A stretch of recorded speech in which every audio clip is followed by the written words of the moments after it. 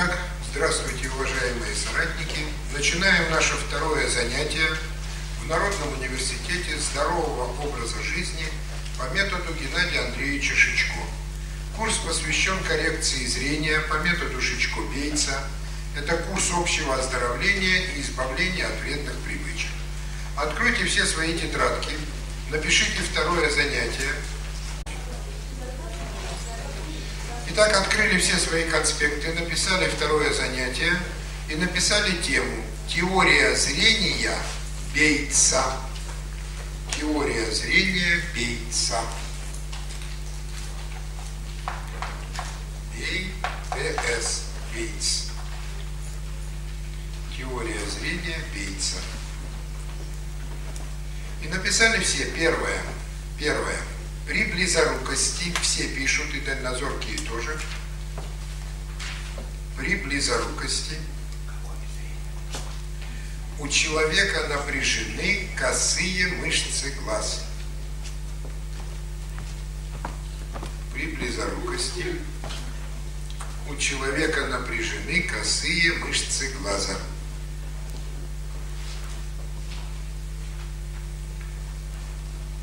И ослаблены прямые. Напряжены косые мышцы глаза и ослаблены прямые. Глаз вытянут вперед огурчиком.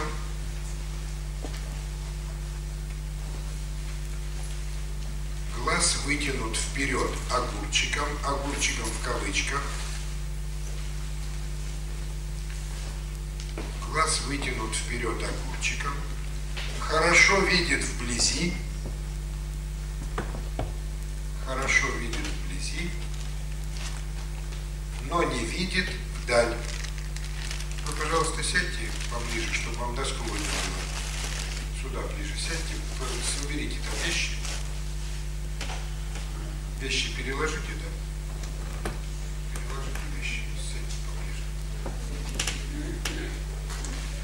Хорошо видит вблизи, но не видит вдаль. Фокус глаза находится внутри глаза. Фокус глаза находится внутри глаза. Фокус глаза находится внутри глаза. С красной строки пишем. Необходимо, необходимо расслабить косые мышцы глаза. Необходимо расслабить косые мышцы глаза и натренировать прямые. Расслабить косые мышцы глаза и натренировать прямые. Зрение восстановится.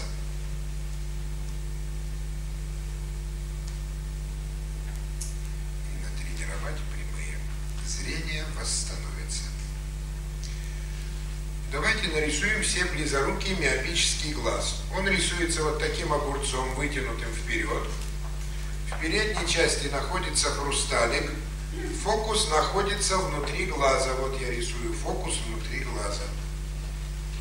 В передней части хрусталик, фокус находится внутри глаза.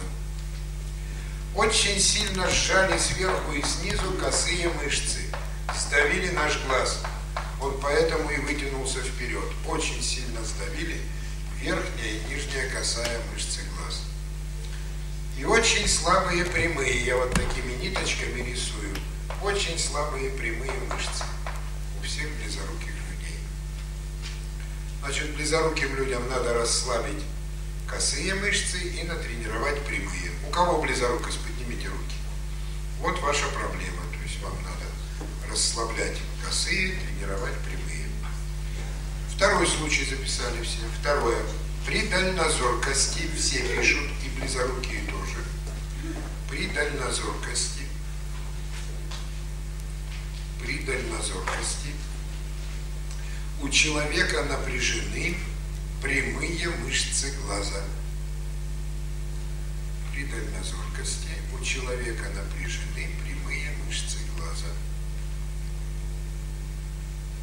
И ослаблены косые.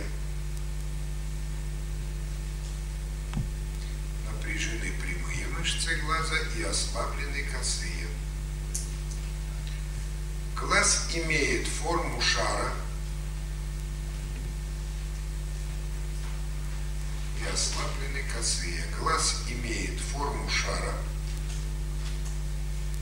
хорошо видит вдаль, глаз имеет форму шара, хорошо видит вдаль, но не может вытянуться вперед огурчиком, чтобы увидеть вблизи. Но не может вытянуться вперед огурчиком, огурчиком в кавычках, огурчиком, чтобы увидеть вблизи.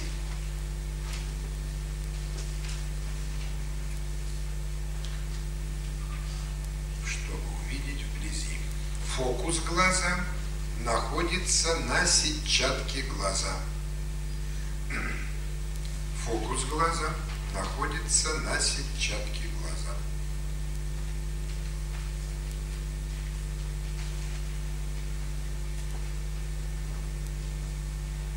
С красной строки пишем. Необходимо с красной строки. Необходимо расслабить прямые мышцы глаза. Необходимо расслабить прямые мышцы глаза и натренировать косые. Необходимо расслабить прямые мышцы глаза и натренировать косые. Зрение восстановится.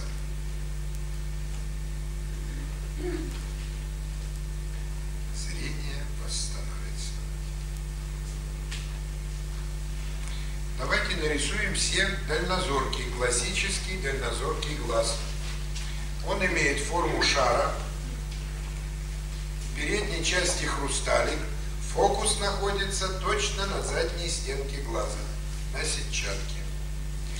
Очень сильно напряжены прямые мышцы, я вот их рисую жирно, напряжены прямые мышцы у дальнозорких.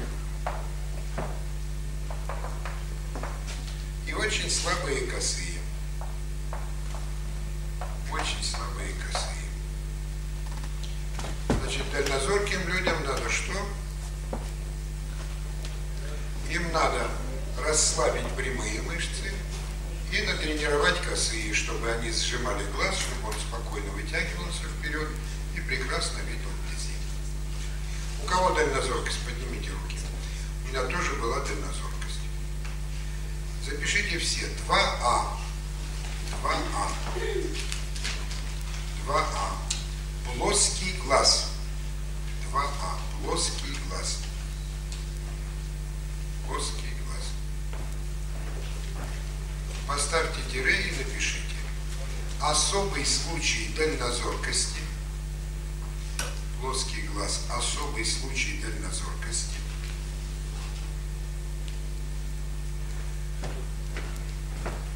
особый случай дальнозоркости, когда фокус глаза, особый случай дальнозоркости, когда фокус глаза находится за сетчаткой глаза. Находится за сетчаткой глаза.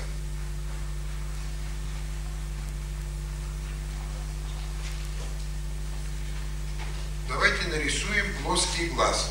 Он рисуется огурцом сверху вниз, в передней части хрусталик, а фокус хрусталика находится за сетчаткой глаза.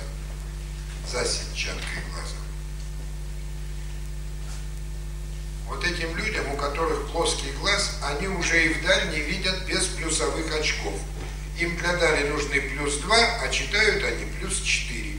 Потому что очки плюс 2 возвращают фокус на сетчатку, они в них видят даль. А чтобы увидеть вблизи, надо загнать фокус внутрь глаза. Им нужны очки плюс 4. У кого бифокальные очки и у кого плоский глаз? Поднимите руки. У кого плоские глаза? Я еще кому-то говорил. Ну, это у вас близорукость. А вот плюс у кого очки?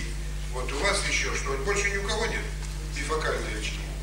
У вас, вот у вас плоский глаз, у вас? То же самое, да. Вот, кстати, вот плоский глаз – это случай самый тяжелый для восстановления по методу Бейца. Потому что людям, у которых плоский глаз, им надо еще сделать глаз круглым. Первое, чтобы вернулся фокус на сетчатку, то есть чтобы они видели вдаль без очков хорошо. А потом научить еще вытягиваться глаз вперед, чтобы видеть вблизи без очков. Поэтому люди, у которых плоский глаз, им придется поработать дольше, чем другим, потому что у них ситуация более запущена, у них уже фокус ушел за сетчатку глаза. Третий случай запишите. Третье. При косоглазии, при косоглазии у человека напряжены, при косоглазии у человека напряжены одна или две прямые мышцы глаза. При косоглазии у человека напряжены одна или две прямые мышцы глаза. И ослаблены противоположные. И ослаблены противоположные.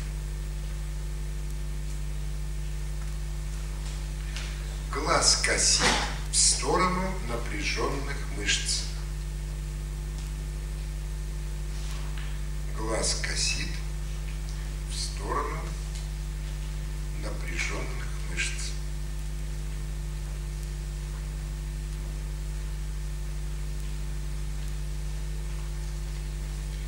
С красной строки.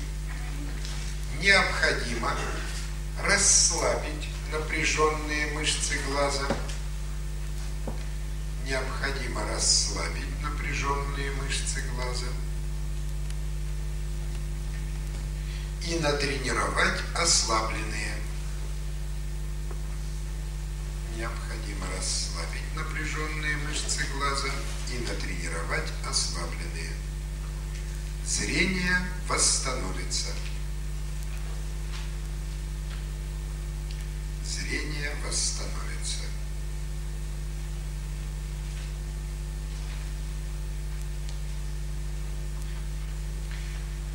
Вот у нашего известного киноактера-комика Савелия Крамарова был очень редкий вид наружно-внешнего косоглазия. У него была напряжена верхняя и боковая прямые мышцы, и глаз у него косил вверх в сторону. И это придавало ему неописуемый комический облик. Помните, там и покойники с косами, и тишина, и как он глаза эти раскосит, тут никто от улыбки удержаться не мог. Лет 20 назад он убежал в Америку, Савелий Крамаров, и там ему предложили по методу Бейтса убрать косоглазие. Он согласился. Косоглазие убрал и потерял комическое обаяние. И там он уже был известен как драма драматический актер, а не комический.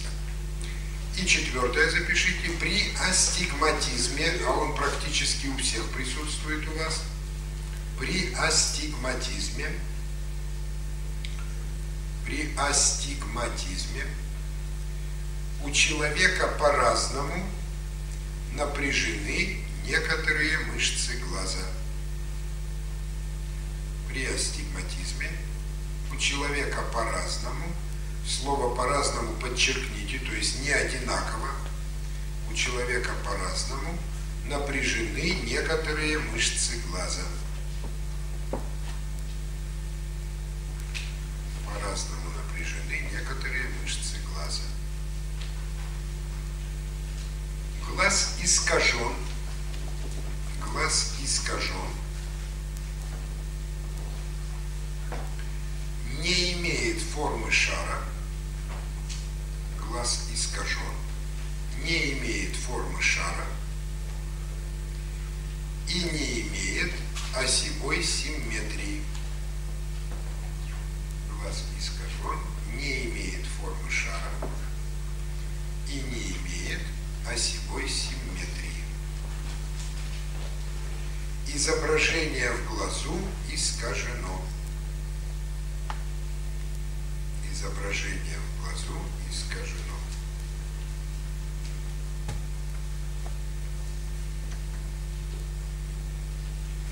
Искажено. С красной строки необходимо расслабить напряженные мышцы глаза. необходимо расслабить напряженные мышцы глаза.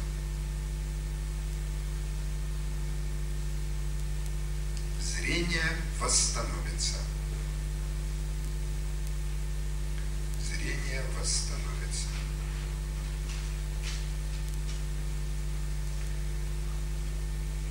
Ну, еще раз поясню, что такое астигматизм. Представьте, у меня в руках детский воздушный шарик. Я его возьму сверху и с двух боков сожму. И он у меня в нижнюю сторону выдуется грыжей, правда? Вот точно так же мышцы давят на наш глаз, напряжены, давят с разной силой, и они искажают форму глаза. Он вместо того, чтобы быть симметричным, кругленьким, становится, становится неправильной формы. Ну, например, если напряжены верхние и боковые мышцы, то он будет иметь примерно вот такую форму. Можно написать, нарисовать ее. Вот так вот он раз и вытянулся у нас в эту сторону. И вот за счет того, что он у нас вот таким стал глаз, то нарушился ход него. И изображение расплывается, размывается, двоится, троится, может быть все что угодно. Вот это вот явление, когда глаз искажен и изображение искажено, называется астигматизм. Как правило, человек при астигматизме путает буквы, не может точно назвать буквы на таблице, вроде видит и теряется. Это признак астигматизма. Вот четыре аномалии рефракции, которые исправляются по методу Бейтса. А теперь посмотрите, что общего во всех четырех случаях, что надо сделать прежде всего, чтобы восстановить зрение. Ну-ка, что там? Расслабить Поэтому подведите жирную черту под тем, что написали, и ниже большими буквами напишите «Расслабление даст отличное зрение глазам». Расслаб... Что? Нистаг? Ну, это уже нервы. То есть нервы, управление мышцей глаз нервную, это тоже помогает. То есть эта вся методика помогает убрать и нистагмус. Итак, все написали большими буквами. Расслабление даст отличное зрение глазам. Расслабление даст отличное зрение глазам. А тренировка ослабленных мышц, а тренировка ослабленных мышц позволит нашим глазам прекрасно видеть на любом расстоянии. Расслабление даст отличное зрение глазам, а тренировка ослабленных мышц позволит нашим глазам прекрасно видеть на любом расстоянии.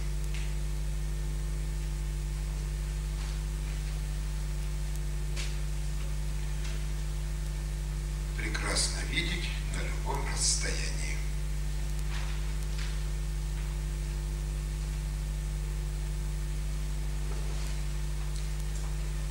Из красной строки напишите.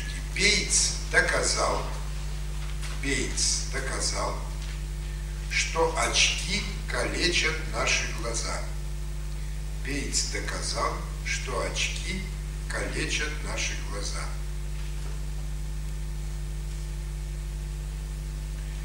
Бейтс доказал, что очки калечат наши глаза. Очки обездвиживают глаза – Очки обездвиживают глаза.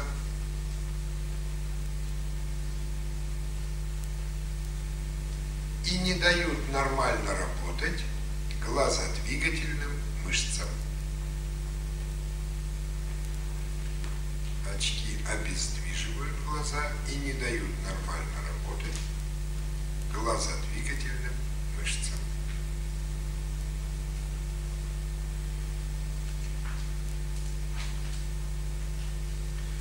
Очки – это оптические костыли, прописанные врачами навсегда.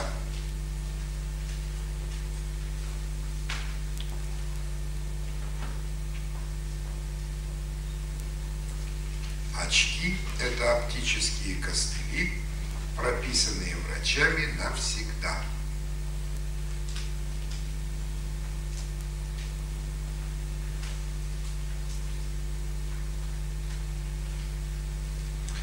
вообще метод Бейтса в первую очередь, конечно, направлен против очков. Очки у человека калечат глаза. Первое, когда человек надевает очки, он обездвиживает глаза. У человека, который очки не носит, глаза постоянно в движении. То вверх, то вниз, то вправо, то влево, то в бок. И у него работают прямые мышцы глаз. А раз они работают, они в хорошем тонусе, в работоспособном состоянии. Как только человек надевает очки, он начинает крутить не глазами, а шеей. А, что, кто, где, чего. И в результате глаза в глазницах неподвижны. А раз глаза неподвижны, мышцы прямые не работают. А у человека те группы мышц, которые не работают, они очень быстро детренируются, начинают деградировать и могут атрофировать даже и совсем. Второй вред, который наносят очки, это то, что они работают вместо косых мышц глаз. Человеку близорукому, вместо того, чтобы расслабить косые мышцы, он надевает минусовые очки и прекрасно видит. Ему не надо расслаблять мышцы глаз. А у людей дальнозорких, вместо того, чтобы напрячь косые мышцы, сжать глаз, чтобы он вытянулся вперед и увидеть вблизи, дальнозоркий человек надевает очки плюсовые. И ему не надо уже этими мышцами работать, он вместо них работает стекляшка, он прекрасно видит вблизи. Поэтому очки не дают нормально работать косым мышцам глаз. Запишите еще. Глаза – это участки мозга, выведенные наружу. Глаза – это участки мозга, выведенные наружу.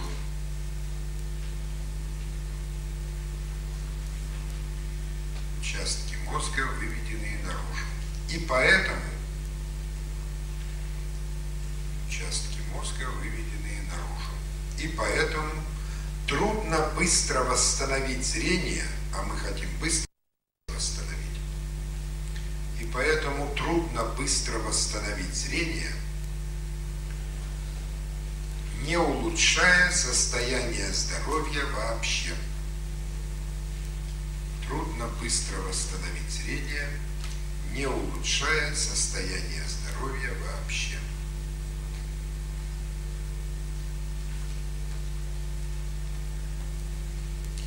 Не улучшая состояние здоровья вообще. Я, соратники, уже 13 год преподаю вот в этих народных университетах здорового образа жизни. У нас накоплен был большой опыт общей оздоровительной работы – и когда мы вот это вот общее оздоровление включили в систему восстановления зрения по методу Бейтса, мы увидели, что скорость восстановления зрения резко возросла. Потому что глаза, мышцы, все это связано с мозгом, связано с чистотой нашего организма. Э, и когда человек начинает параллельно тому, что делает упражнения для глаз, ведет очистку клеток мозга, очистку мышц своих и так далее – то процесс, конечно, резко и резко ускоряется. И поэтому мы какое-то время, довольно значительное, будем посвящать на занятиях и проблемам общего оздоровления, проблемам здорового образа жизни, как основы быстрого восстановления здоровья и зрения. А сейчас запишите тему лекции. Почему люди имеют вредные привычки и носят очки? Почему люди имеют вредные привычки и носят очки.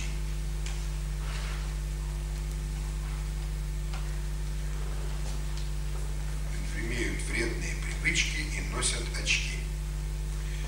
На сегодняшний день мы считаем ношение очков разновидностью вредной привычки, которая у человека ухудшает его здоровье и зрение.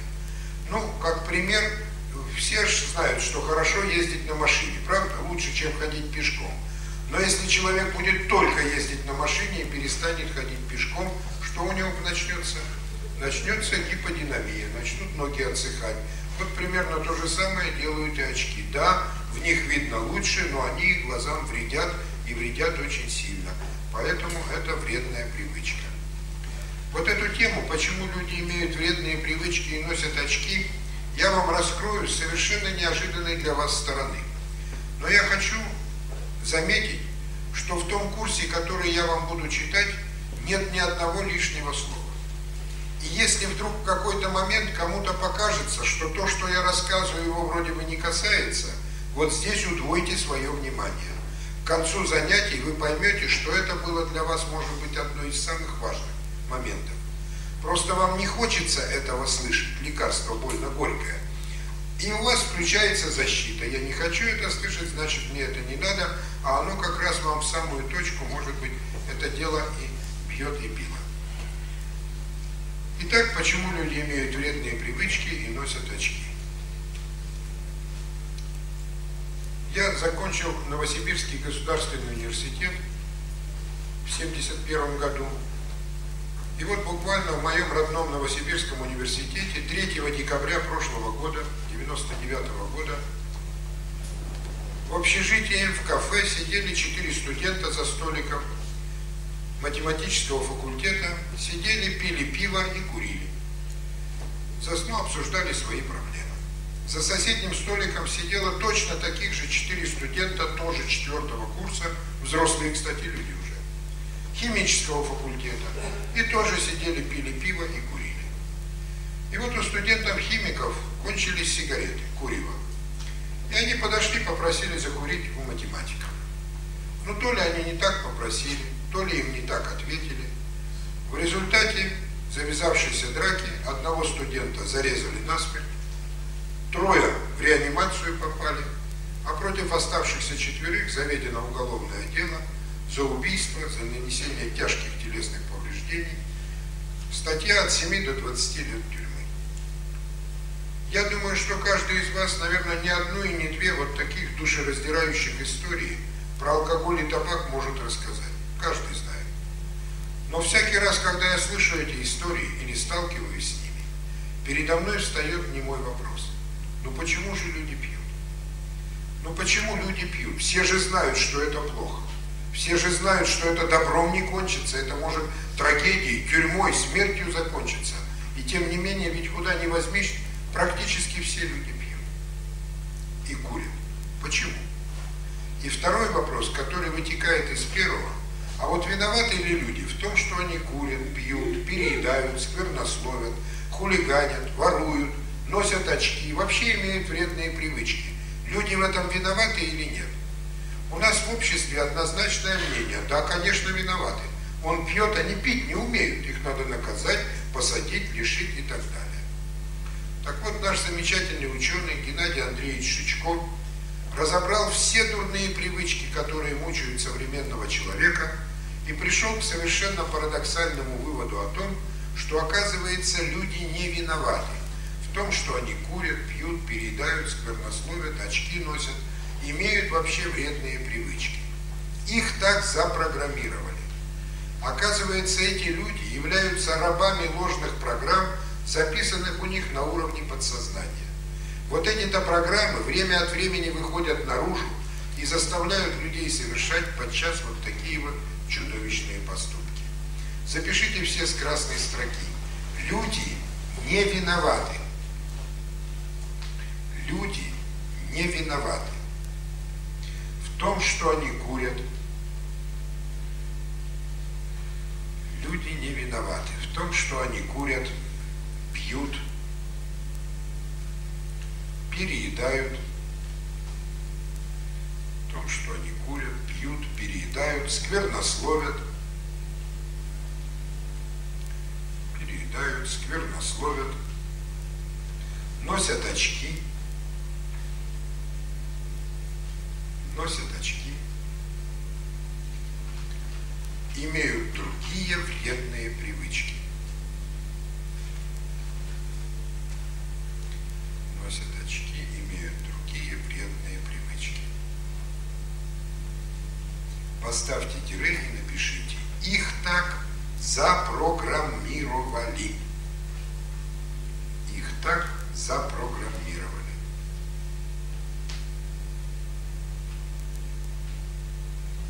Их так запрограммировали. Так что же это за программы такие, которые так мешают человеку жить, более того, могут довести до трагедии, до смерти и даже до тюрьмы? Как они там в голове формируются? как они там живут, развиваются, и можно ли, и если можно, то как от этих программ человеку избавиться. Вот эту задачу решал наш психофизиолог Геннадий Андреевич Шичко. Он ученик и последователь академика Ивана Петровича Павлова. Все вы знаете, что Павлов – автор теории условных и безусловных рефлексов как основу взаимодействия живых организмов со средой.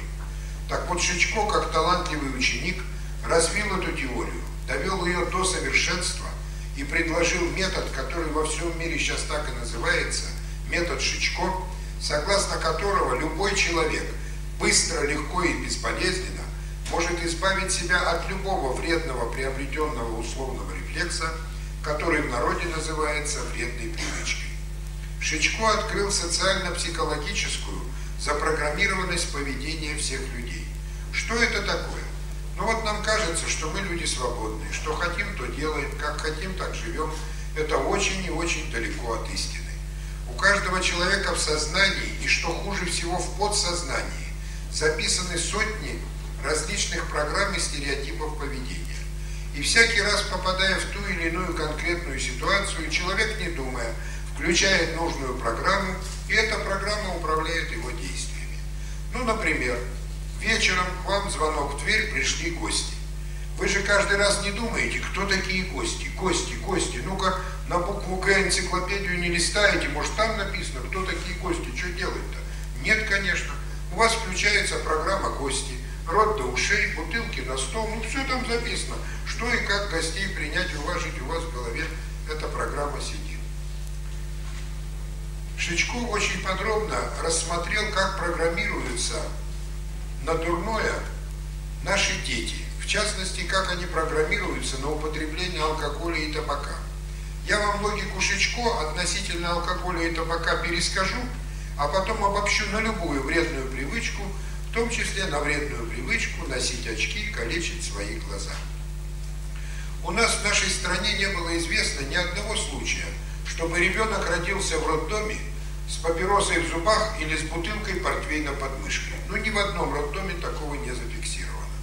Все дети рождаются идеальными трезвенниками. Но как же так получается, что вот он родился небесный ангелочек, а через 15-20 лет из него выросли дядя или тетя, которая уже и курит, и пьет, и еще Бог знает, чем занимается, чем заниматься-то бы совсем и не надо. Вот как это происходит? Давайте посмотрим. Родился ребенок. В момент рождения у ребенка ни одного условного рефлекса, ни одной социально-психологической программы нет.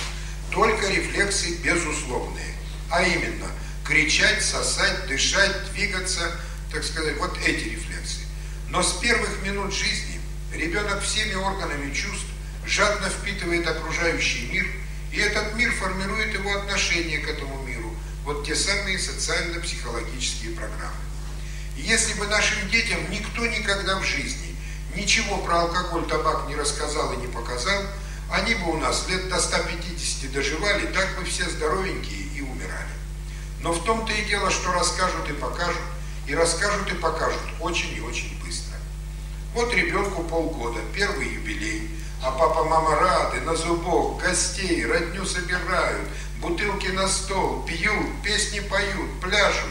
А он сидит в колясочке, он ходить не умеет, он говорить не умеет, но он все прекрасно понимает. Он понимает, что песни поют и пляшут. С этих красивых бутылок на столе это-то он понимает. Но каждый же день папа с мамой не поют, не пляшут. А тут по третьему стакану залили, да такое началось. Эх, он думает, как же я ходить-то не умею. Я бы стакан другой заложил, тоже бы с ними поплясал. Пошла у него в подсознание интересная информация – относительно красивых бутылок на столе. Дальше больше пришел к отцу сосед, дядя Коля. Нога на ногу, папиросы в зубы, дым в потолок, сидят, умный разговор ведут. Ребенок не понимает, о чем говорят, но понимает, что умные. Наверное, думает, они потому и умные, что дым сосут. Вырасту, тоже буду дым сосать. Пошла информация в подсознание. А где-то около года в жизнь наших детей – вторгается одно из самых страшных зол современности – это телевизор. Я вам не буду говорить, что вообще наши дети видят по телевизору, это вы и без меня знаете. Я вам проанализирую только 3-4 самых популярных детских мультфильма. Вот мультики-то чему наших детей учат? Причем не американские, а наши отечественные мультики. Ну, самый первый мультфильм детский – это «Крокодил Гена» и «Чебурашка», да?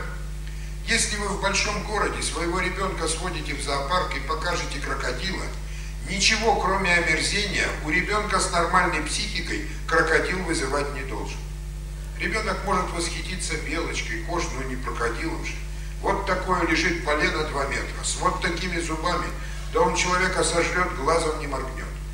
Но стоило этому омерзительному крокодилу всего-то ничего, засунуть в рот трубочку с табаком.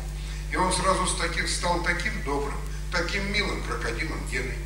Но ребенок до этого не понимает, вернее он понимает, тот в зоопарке не курит, тот плохой, а этот курит, этот хороший.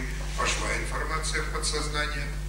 Сериал «Ну погоди», а ведь волк он привлекательный герой, особенно нашим мальчишкам, это его удаль, понятие, все.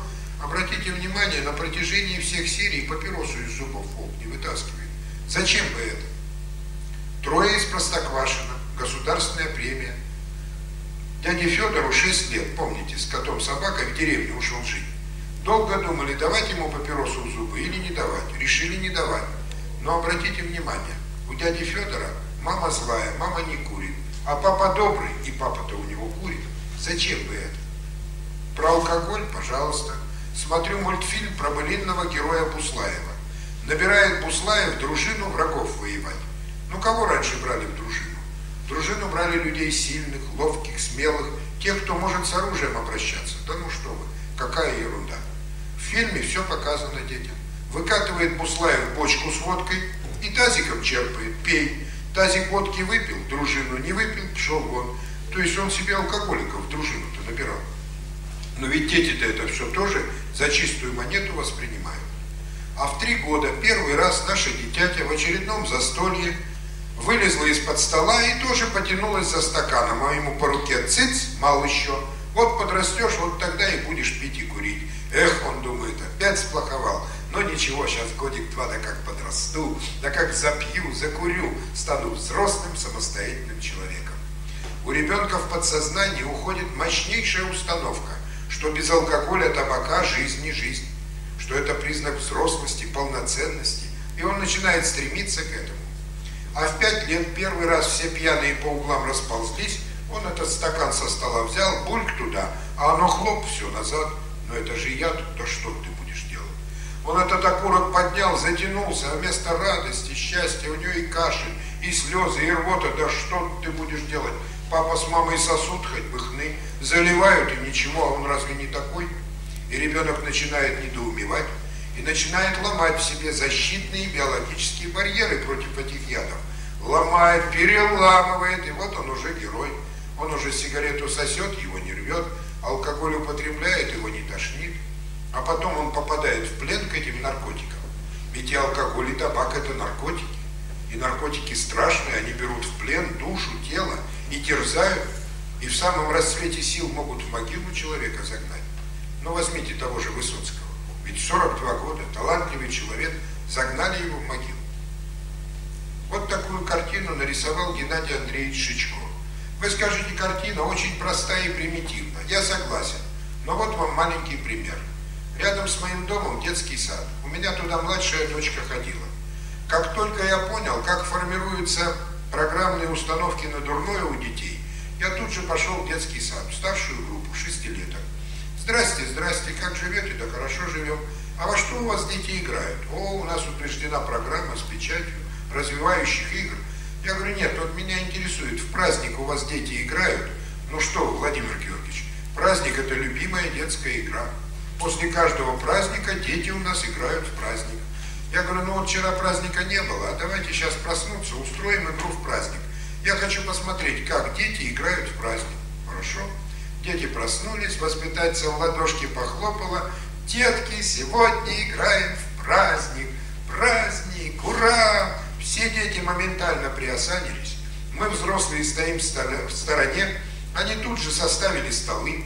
Вокруг расставили стульчики, расставили кубики в виде стаканов, расставили кегли в виде бутылок, Тут же у них там шарики, мячики, закусь, апельсины. У них тамада объявился. Открывай, наливай, тосты поднимай. Да тосты-то поднимают. Я заслушался. Производстве поднимают кубики, чокаются, пьют, кто крякает, кто морщится, кто рукав нюхает.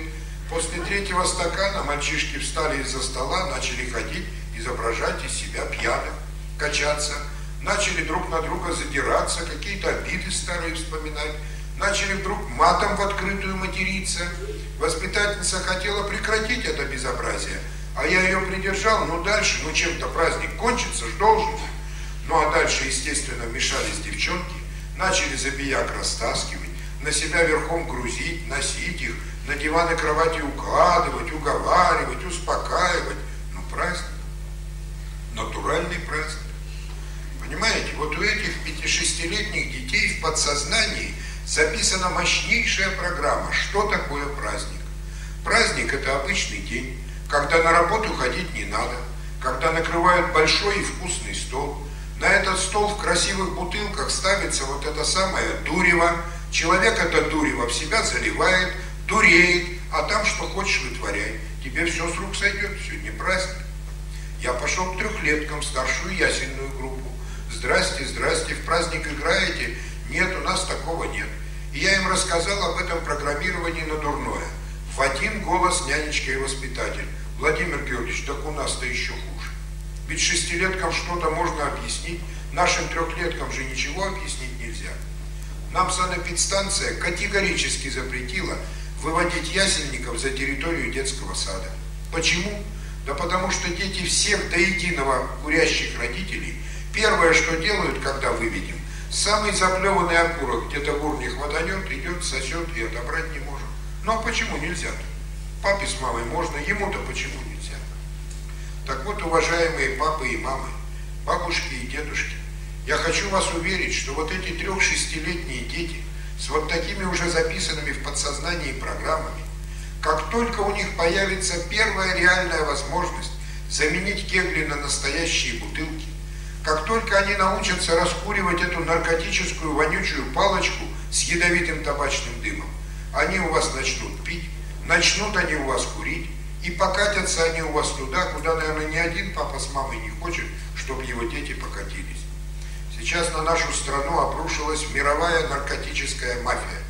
Она организовала страшную наркотизацию нашей молодежи. Как уберечь? Как уберечь своих собственных детей от той страшной участи, которая им грозит? Вот как у своих детей разрушить в голове, в подсознании вот эти ложные программы, которые, кстати, мы же им туда и записали, правда? Вы же не зря сидели, улыбались. Я же про вас, про ваших детей рассказывал. Как? Ни медицина, ни педагогика даже задачи себе такой не ставят. Единственная наука, которая дает ясный, грамотный и точный ответ, вот что надо сделать с детьми, чтобы разрушить у них вот эти ложные программы. Это психоанализ Геннадия Андреевича Шичко, тот самый, который мы будем с вами изучать и использовать в течение этой недели. А сейчас запишите все заголовочек. Лестница Шичко. Лестница Шичко. Это лестница дурных привычек, дурных наклонностей человека. Рисуется она. Вот такие вот кирпичики. Один относительно другого сдвинут. Шесть кирпичиков, шесть ступенек лестницы Шичко. Каждый кирпичик запишем по одному слову. Да-да-да, нарисуйте лестницу Шичко. Каждый кирпичик мы запишем по одному слову. Шесть ступенек лестницы Шичко. Это лестница дурных привычек, дурных наклонностей человека. Итак, первая ступенька, первый кирпичик записали все. Программа. Программа. Сбоку дайте сносочку и напишите. В нас закладывается извне. Программа в нас закладывается извне. Ну, кем закладывается? Родителями закладывается, окружение, школа, улица, средства массовой информации. Я особо хочу подчеркнуть, что если у человека в голове нет программы на дурное, он в принципе на это дурное не способен вообще. Вот я хочу спросить, кто-нибудь из вас пришел заодно избавиться от злоупотребления перекисшим соком папайи? Есть кто-нибудь злоупотребляет? Нет? А зря улыбаетесь. В Индонезии это национальная катастрофа. Каждый второй злоупотребляет, и режутся, и вешаются, и друг друга режут. Но у них эту перекисшую папаю круглые сутки по телевизору рекламируют, круглые сутки на всех углах продают. Мы об этом ничего не знаем. Я еще не встречал в нашей стране ни одного человека, который бы страдал от этой перекисшей папайи. Особенно зловещую роль последние 10 лет в программировании наших детей на дурное играют электронные средства массовой информации и особенно телевидение. Я вам даже больше, соратники, скажу. Под предлогом так называемой демократизации наши центральные каналы телевидения и очень многие местные каналы захватили страшнейшие люди, сатанисты. Страшнейшие люди захватили наше телевидение. И сейчас эти люди с экранов телевизоров в подсознание наших детей закладывают программы жестокости, насилия, убийства, самоубийства. И вот эта работа, которую они ведут уже одиннадцатый год, она уже оборачивается страшными, страшными, так сказать, фактами. Когда солдатики в армии, помните, друг друга, не задумываясь, с автоматом стреляют, жизнь-то человеческая копейки не стоит. У нас в Академгородке два года назад был дичайший случай. Два подростка, 14-15 лет, дико издевались и зверски убили свою одноклассницу в ее собственной квартире. А потом долго не могли объяснить, зачем чего они сделали. Вылезла программа из подсознания, совершила свое страшное дело и вернулась назад. Вторая ступенька называется приобщение. Приобщение. Дайте сносочку в бок и напишите «Очень болезненное». Приобщение. Очень болезненное.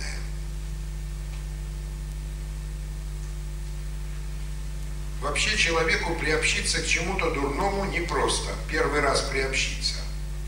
Вот, например, заложена программа «Трудно первый раз употребить алкоголь». Отрава, яд, тошнит, рвет, голова кружится. Страшно невозможно первый раз закурить, затянуться, это же кашель взбивает рвота, то есть страшные ощущения у человека. Вспомните, как вы первый раз надевали на нос себе очки. Уже программу заложили, тетя врач сказала, очки носи, вот их уже заказали, вот их уже купили. Ребенку их на нос надевают, он их срывает, бросает, но это же противоестественно, колеса себе на глаза нацепить. Давайте еще разберем какие-то дурные привычки. Вот ребенку заложили программу хулиганства. Иди бей слабого и этим самоутверждайся. Программу-то ему заложили. Но вот ты пойди первый раз ударь живого человека в лицо. Вот пойди ударь. Ведь это надо в себе переступить через заповедь Божью. Не убей. Ведь ты же можешь ударить, можешь убить человека, правда? Это же страшно. Ребенку в семье заложили программу воровства. Иди воруй, будешь жить вот так. Программу-то заложили. Но ты пойди, укради первый раз чужое. Ведь это в душе тоже надо через заповедь Божью переступить. Не укради. Но как только человек приобщился к этому пороку, дальше он уже катится как по маслу. Третья ступенька называется привычка. Дайте сносочку в бок и напишите. В праздник по случаю реализует программу. В праздник по случаю реализует программу.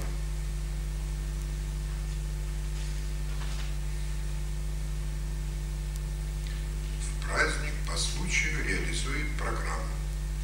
Очень многих людей спрашивают, так вы пьете? Не-не-не, что вы, я, ну и в праздник, на Новый год, все, все понятно. Есть дурная привычка употреблять алкоголь, но только в праздник, только в Новый год.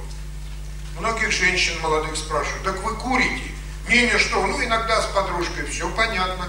Есть дурная привычка сосать ядовитый табачный дым, но только с подружкой, только в определенных я заметил, многие люди по проблеме переедания сидят на третьей ступеньке.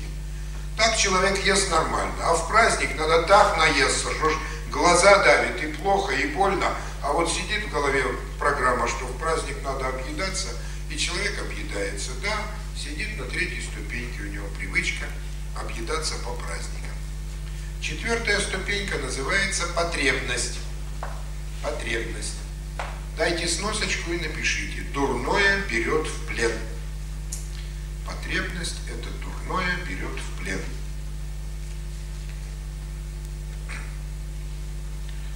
Ну, по части, скажем, алкоголя, табака формируется зависимость.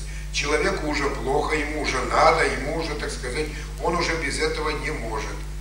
Вот я за неделю приобщился к очкам, и через неделю я уже сидел на четвертой ступеньке.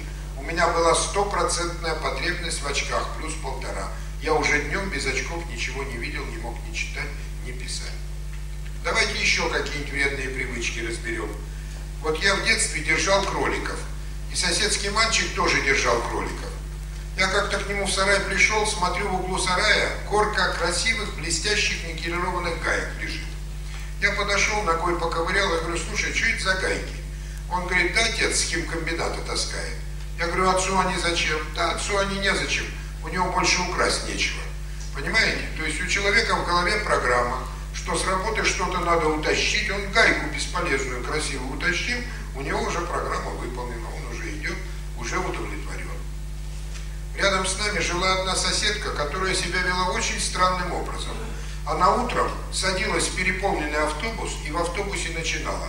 Одного пиханет, второго, ава, ава, пол автобуса на уши поставит, через две остановки выходит и пешком идет домой. Ее все спрашивали, ты зачем это делаешь? Она отвечала так, если я с утра с кем-нибудь не полаюсь, я вся прыщами могу и зайти. И она точно знала, что если она с утра эту дурную энергию на кого-то не сбросит, у ней будет серьезное расстройство со здоровьем. Потому что по вредной привычке раздражительность она сидела как раз на вот этой четвертой ступеньке. Пятая ступенька, напишите, установка. Установка. Дайте сносочку и напишите. Живет, чтобы есть, работает, чтобы пить установка живет, чтобы есть, работает, чтобы пить.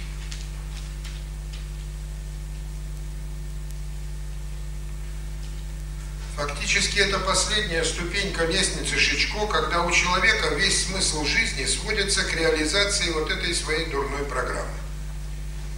Очень много ко мне, я вот вел общеоздоровительные курсы, приходило пожилых людей, и вот человек пишет анкеты, вопросы задает, все, и я вдруг ясно вижу, что у человека весь круг жизненных интересов крутится только вокруг желудочно-кишечного тракта.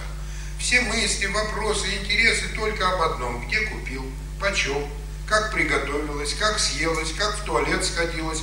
И такое ощущение, что человек поставил себе в жизни цель. Ну еще тонны полторы продуктов пропустить через себя, и помирать можно, да? Ведь мы с вами едим для того, чтобы жить, а есть люди, которые начинают жить ради того, чтобы есть. Уловили разницу? Очень много ко мне приходят людей по алкогольной проблеме, сидят на этой пятой ступеньке. Он в анкете алкогольный сам пишет фразу «Я работаю для того, чтобы заработать деньги на алкоголь». Можно было бы пить не работая, он бы и работать не стал, в 10 раз быстрее себя бы этой водкой убил. Ну и последняя ступенька, вот так аккуратно скосите уголки, посередине проведите прямую линию и поставьте большой православный крест. Это могила, то есть дальше дороги уже никакой нет. Могила, все, дальше конец. И вот когда Шичко нарисовал эту свою знаменитую лестницу, он задался вопросом. Десятки миллионов наших соотечественников катятся по этой лестнице к своей гибели. Это не один человек – это десятки миллионов катятся по этой лестнице к гибели. Ну, хоть кто-то им помогает остановиться и не улететь на эту шестую ступеньку. И он выяснил, да, у нас в стране есть наркологи. И вот здесь между прокламой приобщения напишите, наркологи, вот тут они сидят, наркологи. Главная задача наркологов одна. Человека, который уже одной ногой в могиле стоит, любым способом отлучить от алкоголя или от наркотиков. Ну, например, посадить в тюрьму, да? В тюрьме он пить не будет, точно в тюрьме все алкоголики тут же выздоравливают. Или, скажем, в ЛТП послать, там якобы тоже пить не будет. Или зашить ему ампулу и сказать, выпьешь, умрешь, человека страх держит, помирать никто не хочет. Но ведь программу-то врачи-наркологи у пациента не разрушают, правда? Более того, почти все врачи-наркологи, которых я знаю, сами курят и пьют, и ко мне приходят на курсы избавляться от алкоголизма. По степени спиваемости наркологи стоят на втором месте среди врачей после хирургов. То есть На первом месте хирурги спиваются, на втором наркологи. А ведь программа-то у человека бесится. Программа-то бесится, всем-то пить можно, а ему нельзя. Вот Марина Влади в своей книжке о Высоцком «Владимир или прерванный полет» приводит такой интересный случай. Дважды Высоцкий во Франции зашивал себе противоалкогольный препарат «Эспираль». И дважды в Москве он доходил до такого состояния, вилкой на кухне выковыривал его из-под кожи и уходил в очередной запой. Вот ведь как бесится эта программа, это не шутки. И вот когда Шичков все это понял, он встал и сказал, люди, да сколько же можно друг над другом издеваться? Вся проблема всего дурного в обществе заключена вот в этих дурных программах у людей. И надо помочь человеку разрушить эту программу, а вместо нее записать правильную программу. И тогда он станет свободен от этой лестницы, как все мы свободны от злоупотребления перекисшей папайи. Никого же это не волнует и не мучает. Так вот, мы с вами, соратники, в течение этой недели как раз и будем заниматься тем, что будем у себя в подсознании разыскивать различные ложные программы и программки, разрушать эти ложные программки, а вместо них записывать себе новые программы, в том числе записывать самую главную для нас программу, программу быстрого восстановления здоровья, быстрого восстановления нашего зрения. Вот чем мы будем заниматься на наших занятиях. А сейчас какое у вас сегодня будет домашнее задание? Сегодня дома, вечером, перед сном, я особо подчеркиваю, придете домой, поужинаете, все дела сделаете, кроватку разберете, и прежде чем лечь в кроватку спать, выполните домашнее задание. Это особенность метода Шичко. Все домашние задания выполняются строго перед сном, перед тем, как лечь в кровать спать. Итак, возьмете дома двойной лист бумаги школьной в клетку. Можно я покажу Вот такой вот двойной лист бумаги в клетку. И сверху все напишите слово «анкета». А сейчас возьмите все в руки анкету, которую я вам раздал. Все возьмите в руки анкету. Так? Значит, сами вопросы писать не надо, только пишите номер вопроса и ответ. Номер, ответ, но ответ должен быть полный, развернутый, чтобы я понял, на какой вопрос вы отвечаете. Понятно? Итак, первый вопрос. Фамилия, имя, отчество. Все слова фамилия аккуратно зачеркните на анкете и напишите сверху псевдоним. Анкет, фамилию зачеркните, напишите псевдоним. Псевдоним. И вот сейчас всем вам надо выбрать себе псевдоним. Где ваша анкета? А, это ваша. Дайте мне анкету. Все зачеркнули слово фамилия и написали псевдоним. И вот сейчас, соратники, всем вам надо будет выбрать псевдоним. И вы наши курсы пройдете не под своей настоящей фамилией, а под псевдонимом. Почему? Дело в том, что я вам буду давать некоторые домашние задания, анкеты, дневники, и вам придется о себе отвечать в этих анкетах довольно откровенно. И мы заметили, что человеку легче отвечать о себе откровенно – если стоит не его настоящая фамилия, а стоит псевдоним. Понятно? Но псевдоним можно взять не любой. С этой минуты на курсах каждый из вас будет носить девичью фамилию вашей матери. Вот девичья фамилия вашей матери будет вашей фамилией на наших курсах. И все бумаги, все анкеты, дневники подписывать вот этой вот фамилией. Имя, отчество менять нельзя. А если нас двое? Что? А если двое У вас же имя, отчество разное будет. Ну и все, отлично. Дальше второе. Зрение ваших родителей. Напишите какое. Третий вопрос. Ваши... Что? Ну не знают, напишите, не знаю, какое зрение у родителей. Третье. Ваши заболевания, врожденные, связанные с образом жизни, с условиями работы. В каком возрасте стало ухудшаться зрение, причины падения зрения, состояние вашего здоровья сейчас – Состояние вашего зрения сейчас до коррекции, расстояние до текста в сантиметрах, позволяющее читать без очков и напряжения. И идет правый глаз, левый глаз, оба глаза, минимум, оптимум, максимум. Как померить эти, как померить эти расстояния? Значит, сегодня дома вы возьмете все приглашение. Дайте мне кто-нибудь приглашение, да? Возьмете приглашение. И на этом приглашении возьмете любое слово, любое слово, которое вы достаточно хорошо, ну самое мелкое, видите с расстояния примерно 30 сантиметров, без очков. Ну, скажем, слово «Жданов», пример. Вот вы взяли слово «Жданов», так, которое без очков, без очков с расстояния в 30 сантиметров видите примерно. Вот с такого расстояния, да?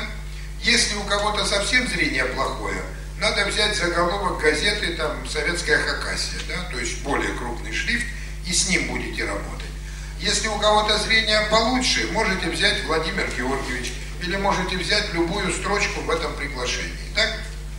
И начнете измерять вот эти вот параметры. Как они измеряются?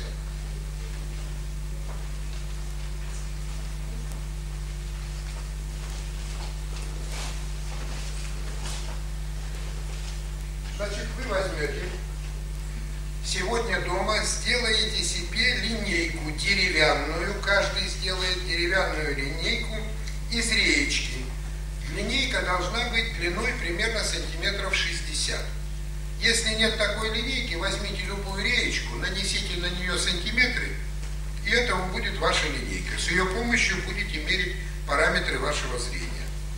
Каждый раз измерения надо проводить в одном и том же месте, при одном и том же освещении. Вот я у себя дома всегда измерял а, на кухне, я становился спиной к, столу, спиной к столу, а у меня сверху вот оттуда светил плафон, ну лампа. Потому что если будет разное освещение, будет разный результат.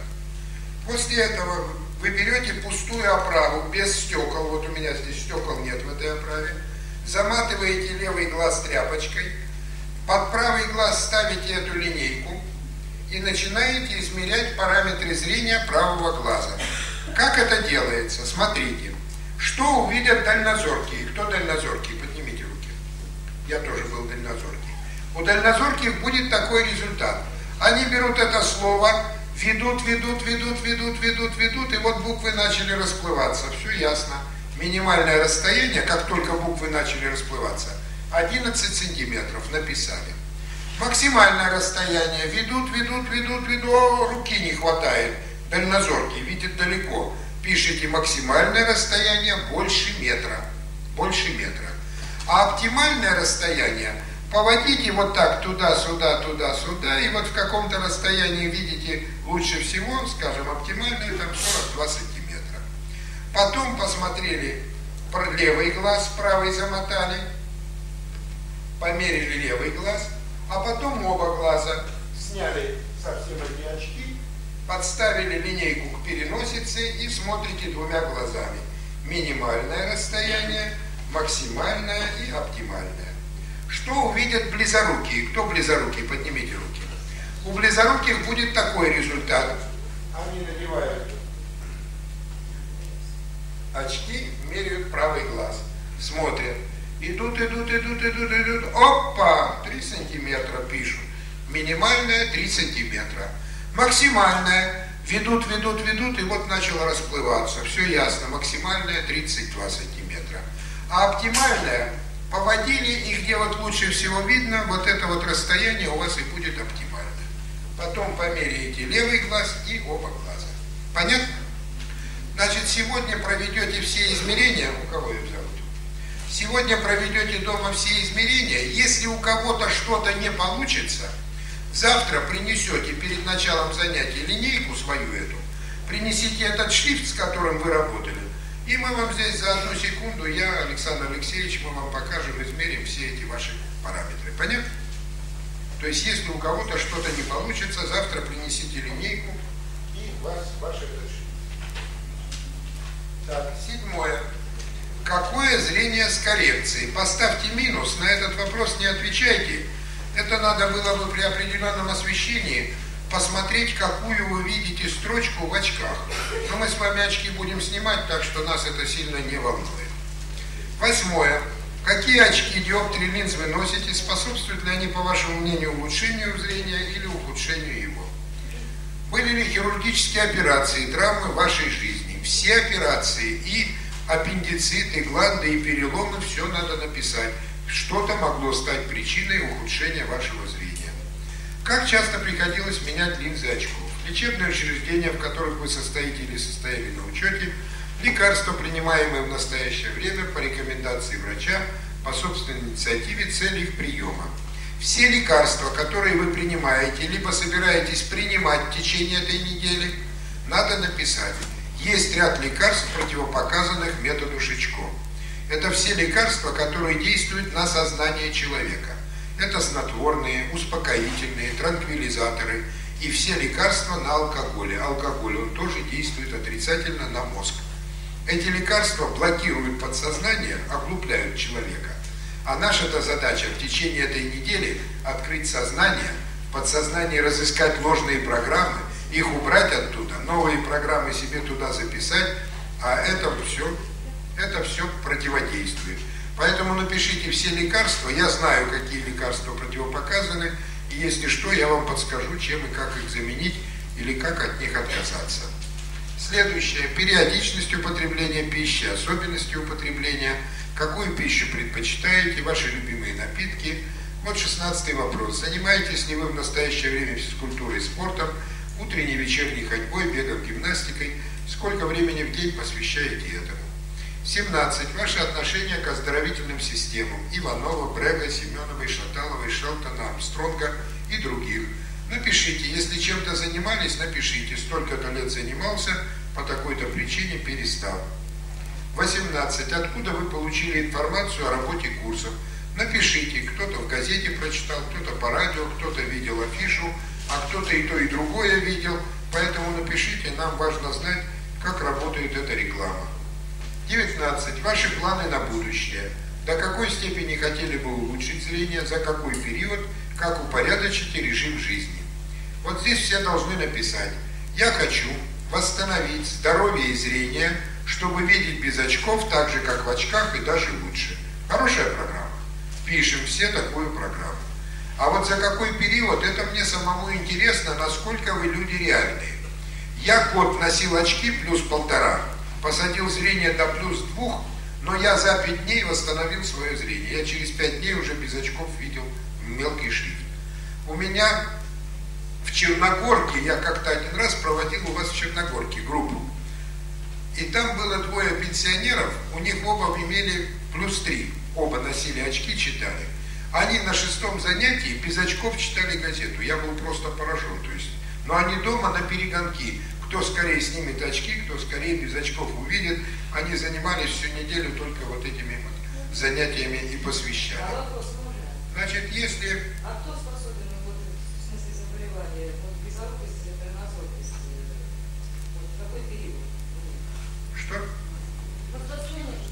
Я сейчас скажу. То есть, вот люди, я говорю, они исправили за, за 6 дней такую плюс 3.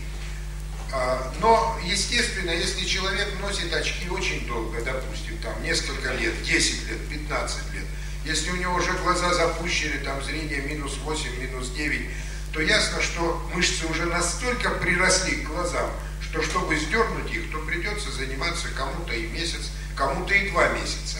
Поэтому вы себе как раз и наметьте план. Мне интересно посмотреть, насколько вы люди реальны.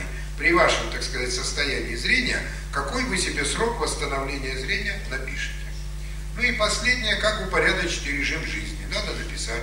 Я буду выполнять домашние задания, упражнения, так сказать, буду работать. Место работы учебы, адрес, телефон и так далее. А Что? Ну, есть у вас адрес, или у вас там номер, напишите свой адрес иногородний. После этого, соратники, вы должны взять новый двойной лист бумаги в клетку. Новый, не на этом же, а на другом. Потому что вы завтра мне их сдадите на проверку, я анкеты оставляю себе, а дневник я проверю и вам верну проверенный дневник. И пишите сверху «Дневник коррекции зрения номер один». Переверните этот листочек, и на нем написаны вопросы дневника. Сами вопросы писать не надо, только номер вопроса, ответ, но ответ полный, развернутый, чтобы я понял, о чем вы говорите. Итак, фамилия, псевдоним, имя, отчество. Фамилию аккуратно зачеркните, писать в бумагах только псевдоним. Фамилию писать не надо.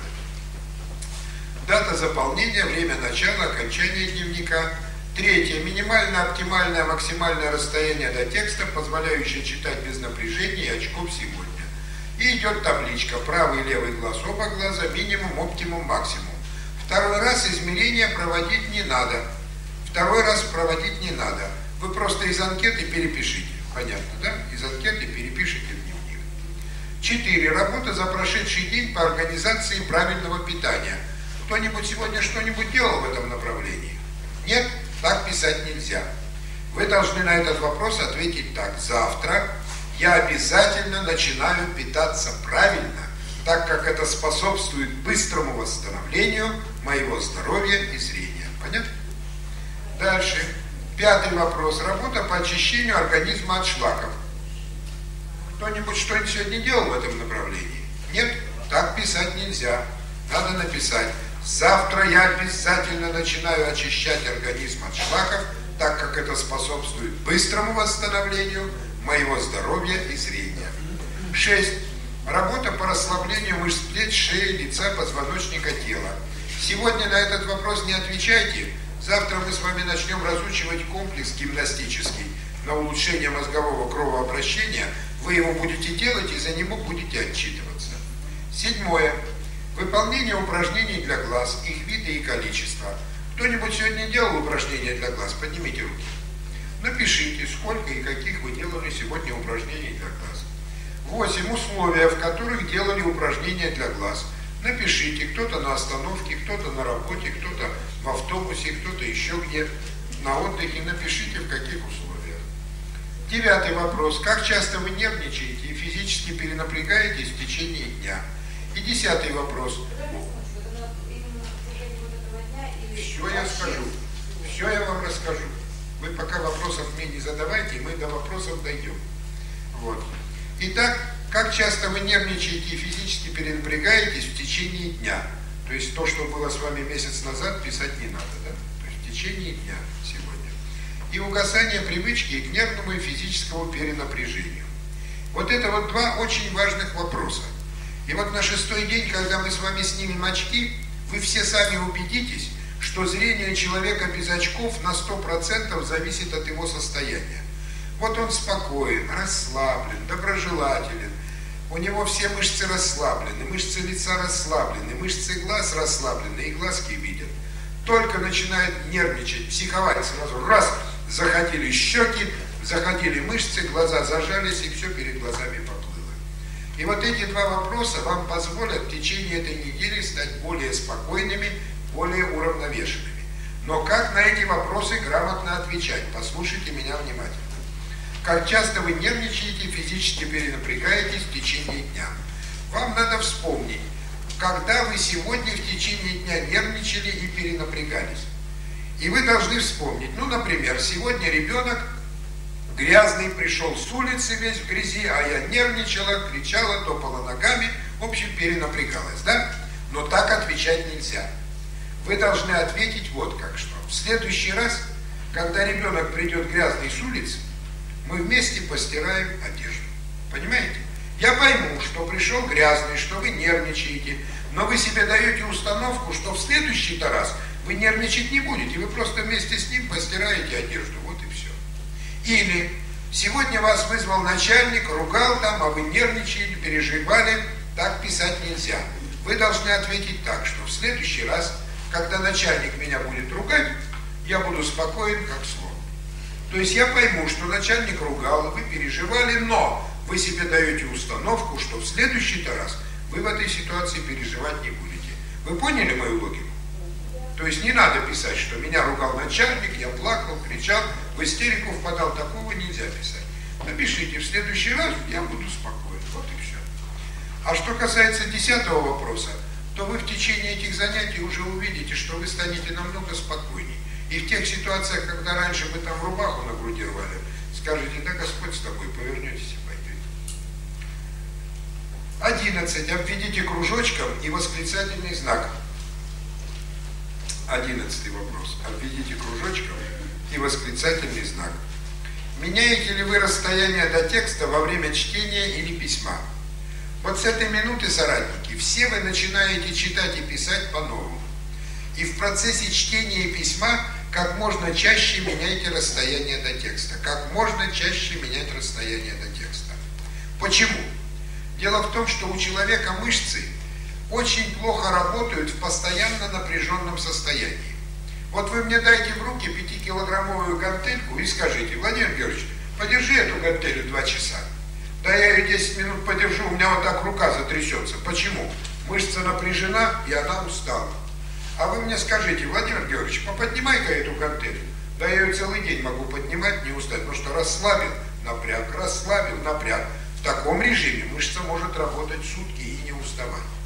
Что происходит, когда человек читает или пишет на совершенно определенном фиксированном расстоянии? Он смотрит в книгу, напрягает косые мышцы глаз, глазки вытягиваются вперед, и он видит все, что в книге. И мышцы постоянно напряжены и в одном и том же состоянии. Понятно? Но когда вы моргаете и начинаете менять расстояние до текста, вы начинаете тренировать мышцы глаз. А именно, моргнули, дальше отнесли, расслабили. Моргнули, ближе поднесли, напрягли. Расслабили, напрягли. Расслабили, напрягли. Расслабили, напрягли. Что вы будете делать, когда вы читаете и пишете, и при этом как можно чаще меняете расстояние до текста? Вы не просто будете читать и писать, а вы в процессе чтения и письма будете тренировать свои глазодвигательные мышцы. Ясно? Если просто читать на одном расстоянии и писать, зрение ухудшается, а если читать и писать и как можно чаще менять расстояние до текста, то зрение у человека тренируется. Я, между прочим, видел одного человека, который читал вот таким образом. Вы не поверите, а я видел своими глазами. Он книгу читал вот так.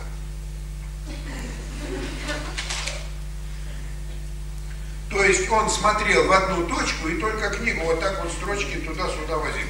Это самый разрушительный режим работы глаз. То есть у него не моргая в одну точку мышцы напряжены, конечно, они устают, утомляются, перенапрягаются и зрение от этого резко ухудшается. Так, дальше 12. Впечатление от полученной на занятиях информации, что особенно запомнилось – 13. Оценка дня, работа с глазами, самочувствие, питание, обливание, очищение организма, отношение к людям. Вот некоторые здесь себе, как в школе, ставят двойки, тройки, четверки, пятерки. Этого делать не надо. Здесь надо повторить и закрепить правильную установку. А именно, сегодня я прекрасно поработал с глазами. Сегодня у меня прекрасное самочувствие. Если кто-то себя сегодня неважно чувствует, так писать нельзя надо написать, что завтра у меня самочувствие резко улучшится. Я пойму, что вы сегодня не домогаете, но вы даете установку себе, что завтра самочувствие у вас улучшится. Дальше. Завтра я начинаю правильно питаться, очищать организм, так как это способствует быстрому восстановлению моего здоровья и зрения. Отношение к людям у меня всегда доброжелательное. Понятно? Вот так надо ответить на этот вопрос. Четырнадцатый вопрос. Ваше отношение к спиртному. Пребывание в компании употребляющих спиртное, к предложению употребить спиртное. Здесь надо написать, что алкоголь это яд, да? Кто-нибудь был сегодня в компании пьяниц? Поднимите руки. Были? Нет, значит, сегодня я не был в компании употребляющих спиртное. Кому-нибудь сегодня предлагали употребить? Нет, сегодня мне, к счастью, никто не предлагал употребить спиртное, а если бы предложили, то я бы отказался, так как хожу на курсы, дал расписку, да? Так, дальше, 15. В каком случае некоторые люди употребляют алкоголь? Каждый раз опишите один новый случай, бывший с вами. Сегодня все ответьте на этот вопрос так. Некоторые люди употребляют алкоголь в праздник. Есть такие люди? Знаете? У нас в Новосибирске полгорода в праздник пьяные ходят, так сказать. Есть такие люди. Значит, следующий. Зачем они это делают? Ну, у них, наверное, программа такая. В праздник надо напивать себя алкоголем. Что в этом неправильного, плохого? А вот здесь напишите. Здесь все неправильно и плохо. Праздник, а люди себя травят ядом, дуреют, совершают страшные проступки в, в этом состоянии, правда? Но самое главное, они же детей программируют. Дети-то смотрят, что они пьянку пьянствуют. И дети говорят, мы тоже будем пьянку пьянствовать. А как в этом случае поступите вы? Разберите три конкретных реальных варианта поведения, допишите все. Без алкоголя. Допишите 18 пункт. Без алкоголя. 18 пункте напишите без алкоголя. Три варианта поведения без алкоголя. И вам надо написать здесь, в следующий праздник я с детьми поеду там на дачу без алкоголя. Или в следующий праздник приглашу друзей, поставлю самовар, торт без алкоголя. У всех у вас есть программа «Что с алкоголем?» надо праздник. А вот вы попробуйте себе написать программку, вот праздник, а вы его без алкоголя проведете. Следующий вопрос. В каком случае некоторые люди ленятся делать упражнения с глазами? Ответить так сегодня все. Некоторые люди ленятся делать упражнения с глазами на остановке автобуса. Да? Вы видели? Делают люди? Нет, ленятся. Зачем они это делают? Почему они это делают? Ну, люди глупые, не знают, что можно делать упражнения с глазами и зрение восстановить. Что в этом неправильного, плохого? Напишите, ведь на автобусной остановке делать-то нечего, время есть, ну так и поделаем упражнения. А как в этом случае поступите вы? Напишите и сделайте наиболее понравившиеся вам упражнения. Вы напишите, что завтра на автобусной остановке я сделаю упражнения вверх-вниз, вправо-влево, диагональ, там прямоугольник, циферблат. Да? Дальше. 23. Проясненность сознания. Обведите кружочком восклицательный знак. Это очень важный вопрос в дневничке. Очень важный вопрос. Я не буду давать особых подсказок, но я только вам скажу, что мы здесь собрались для того, чтобы прояснить свое сознание. Я вижу, что уже у некоторых начало сознание проясняться. Кое-кто очки снял, а кое-кто их уже и в сумку положил. Это говорит о том, что да, сознание начинает у человека проясняться. 24. Ваши предложения, замечания, вопросы.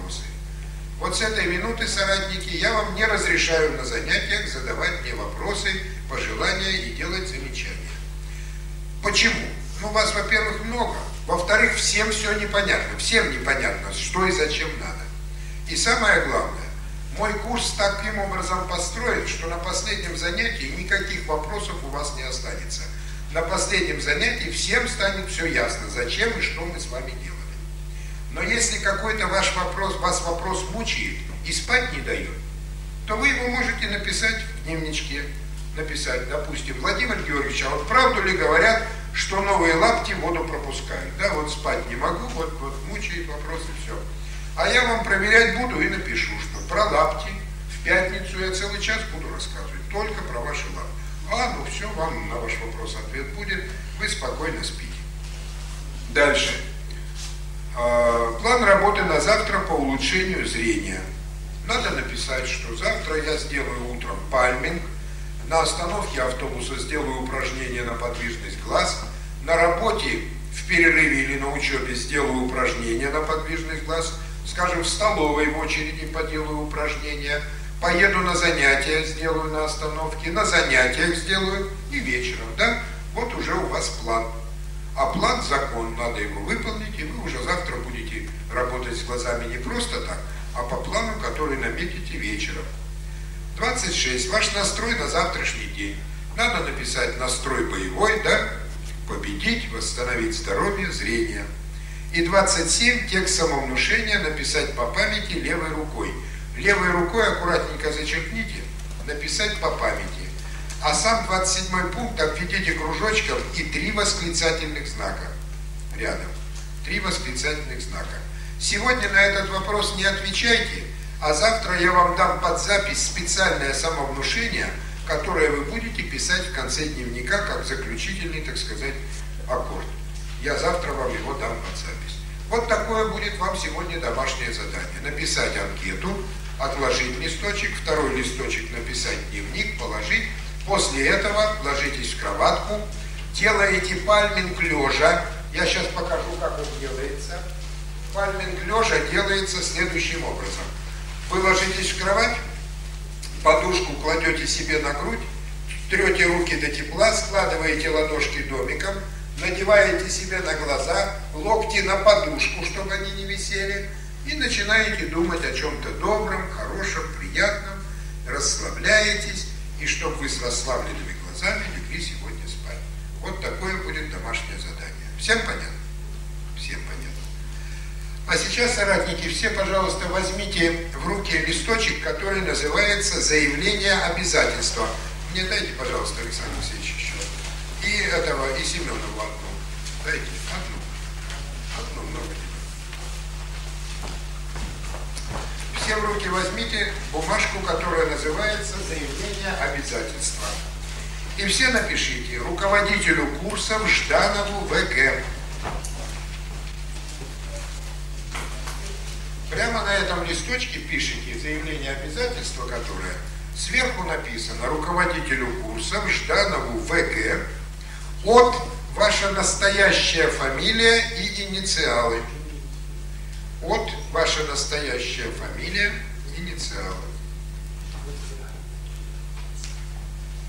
Настоящая. Луч.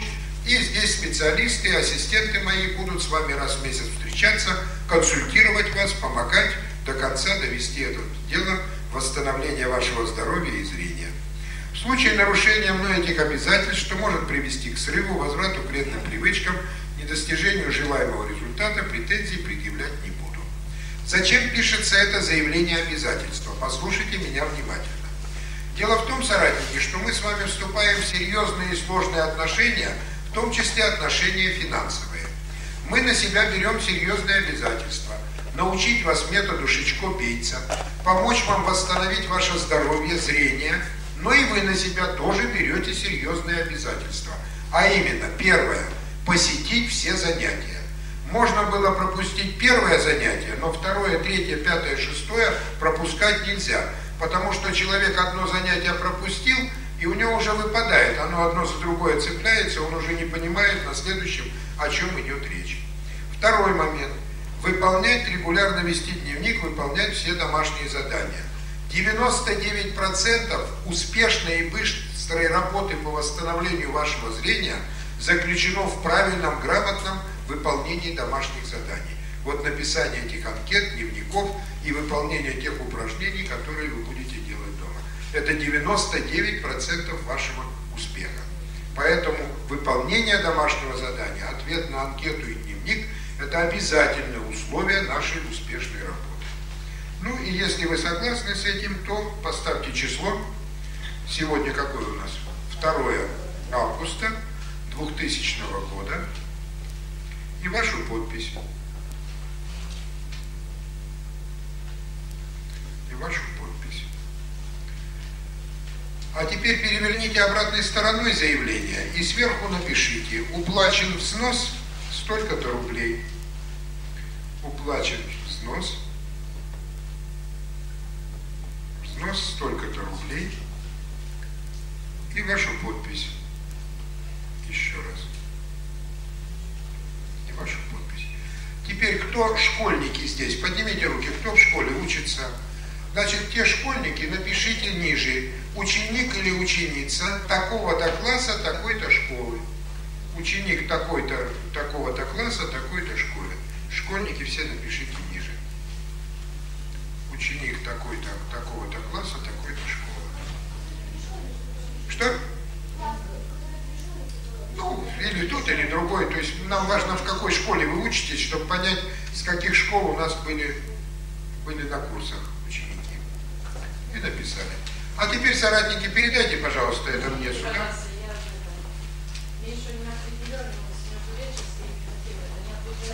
Ну, ничего страшного. Напишите ученик такого-то класса ученик такого-то класса и все. И передайте, пожалуйста, ну как вот. Мне там не надо, только школьников, мы школьников смотрим. Отслеживаем.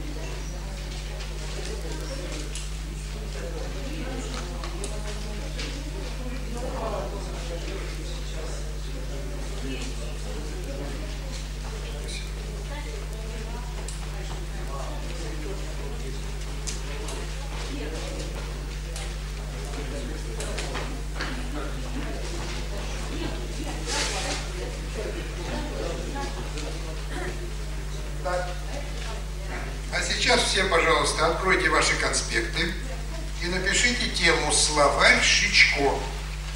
Словарь Шичко.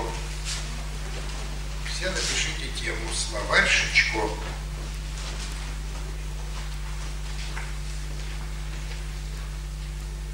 Словарь Шичко. Геннадий Андреевич Шичко – автор нашего отечественного направления психоанализа. Это серьезная наука, и как всякая наука, она имеет свой понятийный аппарат, то есть те слова, которыми наука оперирует. Но медицина так и сыплет направо и налево названия болезней, лекарств, да? Математика синусы, косинусы склоняет. А вот в психоанализе Шичко тоже есть специфические слова, которые мы будем выписывать время от времени, давать им определение, чтобы говорить на понятном друг другу языке. Итак, запишите первое словосочетание. Абсолютный, абсолютный, алкоголь. Абсолютный алкоголь. Поставьте тире и напишите стопроцентный этиловый спирт. Абсолютный алкоголь – это стопроцентный этиловый спирт. Запишите химическую формулу С2H5OH. Абсолютный алкоголь, этиловый спирт С2H5OH. Поставьте тире и напишите наркотический наркотический, протоплазматический яд. Наркотический, протоплазматический, то есть действует на уровне клеток, протоплазматический яд. Смертельная доза – это смертельный яд. Наркотический, протоплазматический яд. Смертельная доза больше 8 грамм на 1 килограмм веса. Смертельная доза больше 8 грамм на 1 килограмм веса. Наркозная доза – это наркотик, в состояние наркоза человека может привести. Наркозная доза 4-6 грамм на 1 килограмм веса. У вас что, листочки Дайте кто-нибудь бумаги, у кого листочки есть.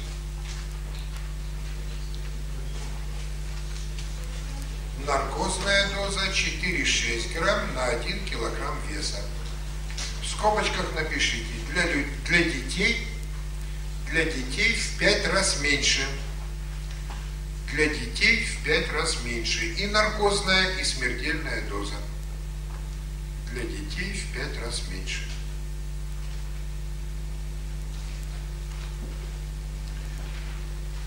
Так вот, соратники, абсолютный алкоголь, этиловый спирт входит в состав всем вам, к сожалению, хорошо известного пива, вина и водки. Но почти никто у нас в стране не знает, что абсолютный алкоголь является наркотическим смертельным ядом. Если человеку за раз дать употребить больше 8 грамм на килограмм веса и не дать вырвать, чтобы он в организм всосался, то этот яд человека должен убить ну, скажем, человек 70 килограмм, 70 на 8, 560 грамм спирта его убьет. Вы скажете, есть клоуны, которые себя приучили к этому яду. 800 грамм чистого спирта убивает любого почти мгновенно. Этот яд является наркотиком, и медицина 200 лет использовала алкоголь как наркотик при операции. И вот во время войны у белорусских партизан не было никаких медикаментов и они использовали самогон как наркотик при операции. Раненому натощак наливали три стакана самогона, он выпивал и впадал в состояние наркоза, потери болевой чувствительности. Его резали, делали операцию, он ничего не чувствовал. Но три стакана самогона наркоз, а четыре стакана самогона – это уже смерть. Вот почему от алкоголя отказались, как от наркотика в медицине. Очень узкая наркотическая широта – пьет, пьет, больно, больно, выпил и умер. Проскакивает, пока не больно, сразу человек умирает. Э, мы жили на севере, у меня отец служил, и наш сосед, подполковник, как-то поехал на зимнюю рыбалку. Нарыбачился он там до наркозного состояния и уснул возле костра. Ночью у него выгорел бушлат, выгорела гимнастерка, выгорело белье, выгорела кожа, выгорела почка, он так и не пошевелился. Шофер унюхал, паленой человечиной пахнет. Кстати, удалось спасти. Вырезали ему почку, зашили вот так вот кривой, потом по гарнизону ходил, детишек пугал. Для детей и наркозная, и смертельная доза алкоголя примерно в пять раз меньше. У нас в стране известны тысячи трагедий, когда десятилетнему ребенку для смеха наливают 150 грамм водки, он выпивает, у него блокируется работа гипоталамуса, прекращается, регулирует который дыхание, прекращается дыхание, задыхается, синеет, чернеет, и спасти его просто невозможно. Еще раз оговорюсь, что все вы знакомы с этим ядом, но почти никто не знает, как его делают. А я знаю и с удовольствием вам расскажу. Люди научились делать алкоголь с древних времен следующим образом. Они брали сосуд, и в сосуд наливали виноградный сок. Это водный раствор витаминов, сахаров, ферментов, кстати, очень полезный для человека. И запускали туда дрожжевые бактерии. А дрожжи, они очень большие сладкоежки. И под микроскопом видно, вот она бактерия, вот у нее глаз, рот, вот она поедает сахар, а сзади из-под хвоста, из клоаки у нее как раз и выходит этиловый спирт С2H5OH. Поэтому все, пожалуйста, запишите, абсолютный алкоголь – это моча дрожжевых бактерий. Вот что это оказывается такое. Это моча дрожжевых бактерий. Ну, по-научному экскременты, да? Это моча дрожжевых бактерий. И вот эти бактерии поедают сахар, мочатся мочой, и когда концентрация мочи достигает в бочке 11%, как всякий живой организм, в собственном дерьме они захлебываются и подыхают. Если это тут же разливают по бутылкам, то называется это вино сухое, ординарное. Будьте любезны, у вас на каждом углу в Абакане его продают. А если два года отстаивают, отцеживают трупики и сливают только мочу с остатками сока, то это уже называется вино сухое, марочное. Стоит оно в два раза дороже, там орден прилепят, медаль, сбывается намного эффективнее. Вот очень многие молодые люди, особенно молодые женщины, почему-то любят шампанское. А вот как делают шампанское, они не знают. А я знаю и тоже с удовольствием расскажу, потому что я специально ездил на экскурсию в Абрау-Дюрсо, это родина советского шампанского в Краснодарском крае. Я прошел всю технологию от начала до конца, посмотрел. Шампанское делают следующим оригинальным образом. Берут специальную зеленую толстостенную бутылку и наливают туда букет виноградных соков пяти разных сортов. Причем в зависимости от их соотношения получают сухое, полусухое, полусладкое, сладкое и брют. Пять сортов шампанского. Заливают эти соки, запускают туда дрожжи, и временно бутылку забивают специальной деревянной пробкой.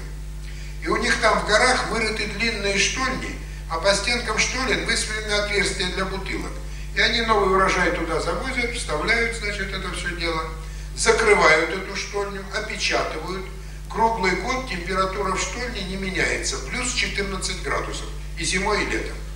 И вот два года в полной темноте и покое эти бактерии перерабатывают сахар в это самое онное зелье. А когда через два года пора уже план выполнять и процесс к концу подходит, они открывают эту штольню, закатывают туда мощнейший прожектор и врубают яркий и сильный свет. От неожиданности и страха эти бактерии прохватывает сильнейший понос.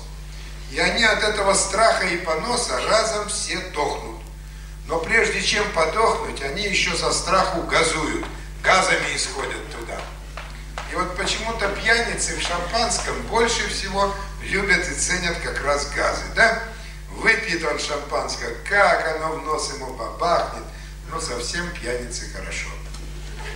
Интересно, что эти бактерии могут переработать в алкоголь не обязательно сахар, любую органику. И вот у вас в Усть-Бабакане на гидролизном заводе перерабатывают опилки, замачивают опилки, запускают дрожжи, есть нечего, едят опилки, мочатся мочой. У Высоцкого даже песня была, помните, если водку гнать не из опилок, то чтоб нам было с трех, четырех, пяти бутылок. Да, гидролизная водка, гидролизный спирт делается из древесных опилок. Эти бактерии могут переработать в алкоголь даже, извините, человеческое дерьмо. Я сам родом из деревни, с Алтайского края. И у нас летом есть такая тонкая хитрая месть.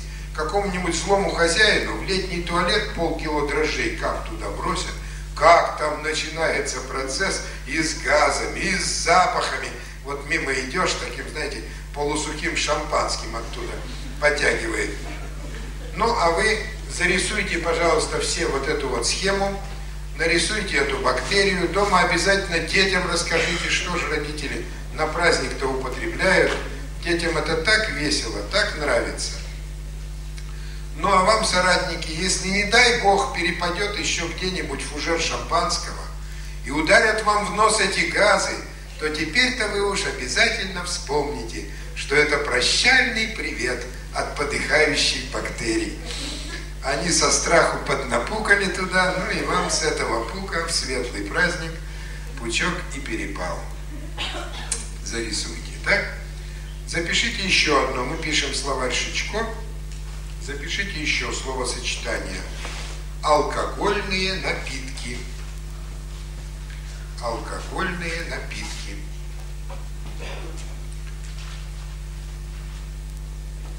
Алкогольные напитки. Подчеркните это словосочетание. Возьмите в кавычки. Поставьте тире и напишите. Алкогольные яды.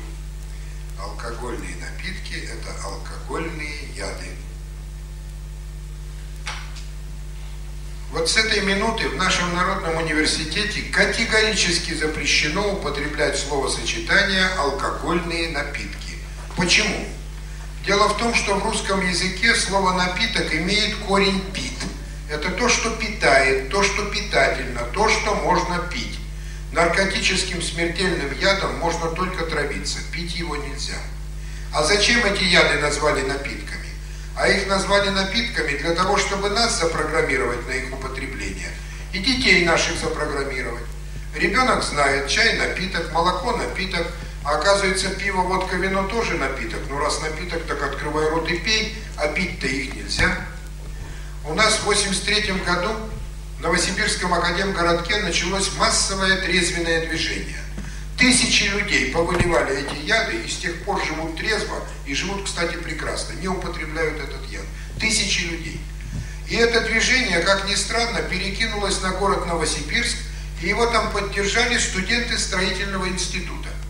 А у них возле общежития открыли виноводочный магазин, открыли пивную, и вот студенты-строители сколотили, что там у вас, проблемы какие?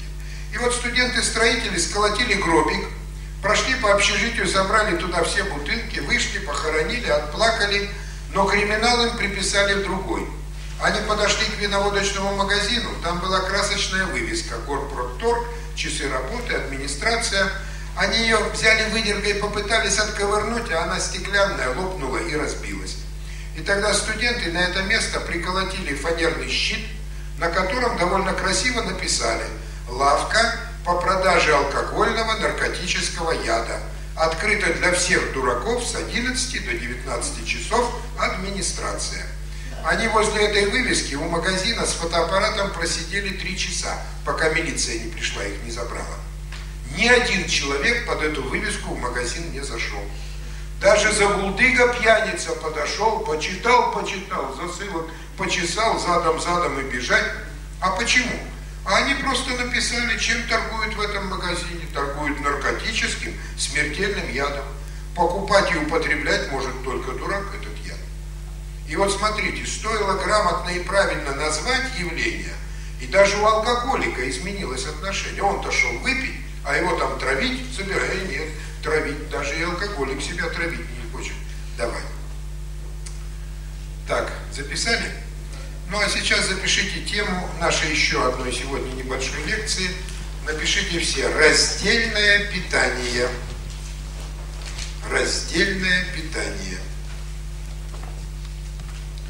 Тему лекции запишите «Раздельное питание».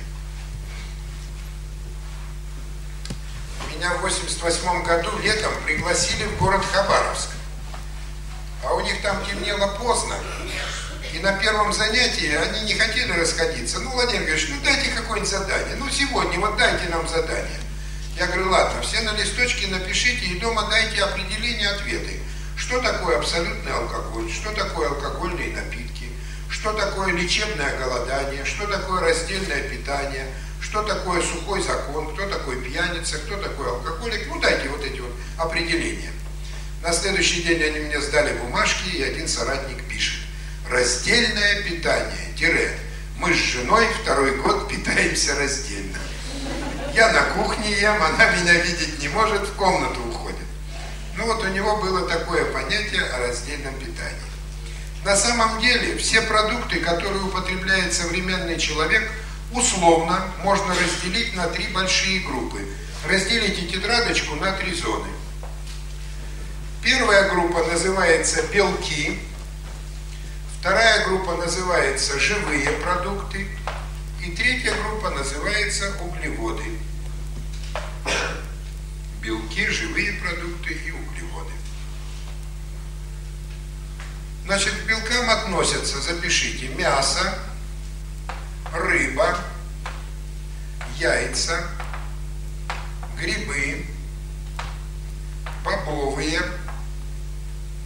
бобовые, соя, очень важный продукт, бобовые, соя, баклажаны, орехи и семечки. Это белки. Баклажаны, орехи семечки. Теперь давайте запишем углеводы, третью графу. К углеводам относятся хлеб, крупы, сахар и все производные от сахара, конфеты, варенье, чай с сахаром, мед. Сахар, мед. И давайте заполним среднюю графу. Живые продукты – это зелень, фрукты,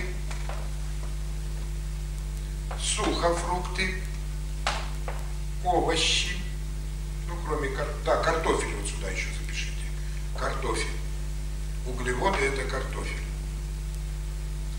Овощи, ну кроме картофеля, бобовых, овощи, соки свежие, ягоды, арбузы.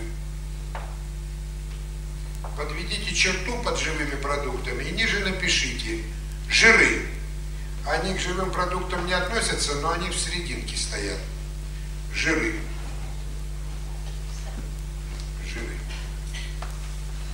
А теперь вопрос на засыпку. Чем отличаются белки от углеводов? Если не знаете, даже не напрягайте память.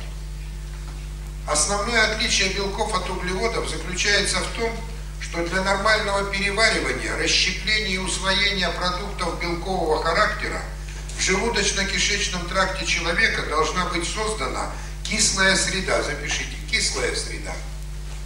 Кислая среда. А для нормального переваривания, расщепления, усвоения продуктов углеводного характера должна быть создана среда щелочная. Щелочная. Вот в этом принципиальное отличие белков от углеводов. Там кислая среда, а здесь щелочная. А теперь возьмем простого советского человека, который в этом вопросе, как говорится, не петь, не свистеть, ничего не знает. Он в левую руку берет кусок колбасы, в правую, а в левую кусок хлеба. Ням-ням-ням-ням, набил живот, сидит и радуется. Он-то сидит и радуется, а в желудочно-кишечном тракте начинается следующий процесс. Колбаса, белок требует кислых ферментов. Кислоты давай, кислоты давай, пошли кислые ферменты. А хлеб углевод – требует щелочных ферментов. Щелочи давай, пошли туда щелочные ферменты. Встретились кислые щелочные ферменты в желудке, и что с ними произошло? Взаимо нейтрализовались, да? Урок химии, седьмой класс, все об этом знают. Ни колбаса, ни хлеб не переваривается. Тут начинает колбаса визжать, кислоты давай, щелочи давай, кричит хлеб. Все органы внутренней секреции человека – начинают в этот момент работать с максимально возможной, примерно 100-кратной перегрузкой. Гонят в желудочно-кишечный тракт кислые щелочные ферменты, а они там взаимонейтрализуются, процесс пищеварения не идет. И вот поквасились, поквасились эти нажеванные куски смешанного питания, а когда человек одновременно ест белки и углеводы, вот такое питание называется смешанным. Поквасились они в желудке, протолкнулись в 12-перстную кишку. А там их надо расщеплять на питательные вещества. А чего там расщеплять, они недопереварились. И вот поквасились, поквасились они в 12-перстной кишке, протолкнулись у человека в тонкий кишечник. А в тонком кишечнике уже надо всасывать питательные вещества в кровь. А чего там всасывать, они не допереварились, не дорасщепились. И вот в тонком кишечнике из этих ножеванных кусков смешанного питания, комков, удаляется, отсасывается влага. Они обезвоживаются и превращаются в так называемые каловые камни. И эти каловые камни проталкиваются дальше в толстый кишечник, и там они застревают. И могут они там храниться долгие годы, до 15 лет, отравляя изнутри наш организм постоянными вот этими шлаковыми выбросами. И человеку почти невозможно быстро восстановить свое здоровье, если он, а, не перестанет травить себя смешанным питанием, и, б, если он не очистит свой организм от завалов вот этих вот шлаковых каловых камней, которые накопил за долгие-долгие годы неправильного питания. А что же делать, скажете вы? А надо питаться раздельно. А как это раздельно? А вот как поел мясо, заел рыбкой, яйцом, там, грибами, защелкал орехами, семечками, все это продукты белкового характера, выделится совсем немного кислых ферментов, все это переварится, расщепится, усвоится, в ответ вы получите что? Здоровье. Хотите хлеба, ради Бога, подождите два часа. Через два часа желудок освободится, клапаны перекроются, поешьте хлеба, картошки, сахару, меда. У это продукты углеводного характера, выделится совсем немножко щелочных ферментов, все это переварится, расщепится, усвоится, в ответ получите что? Здоровье. Поэтому все напишите, белки, углеводы, дугу поставьте, несовместимый, несовместимый пищевой яд пищевой яд. пищевой яд.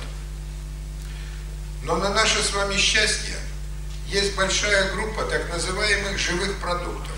Эти продукты настолько хорошо подходят нашему организму, что они прекрасно расщепляются, перевариваются, усваиваются как в кислой, так и в щелочной среде.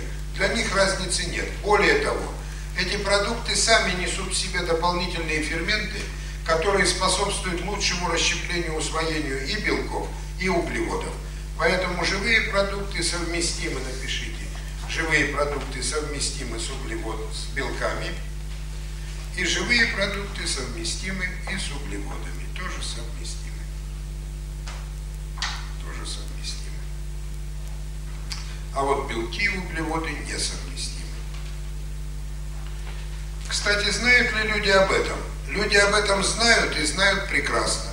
Любому маленькому ребенку дайте колбасу с хлебом. Он хлеб бросит, будет есть только одну колбасу. У него все внутри протестует, будет плохо, будет нехорошо. У меня огромный грех на душе. Обе мои дочери, я в детстве доходил до белого коленя, как они ели пельмени.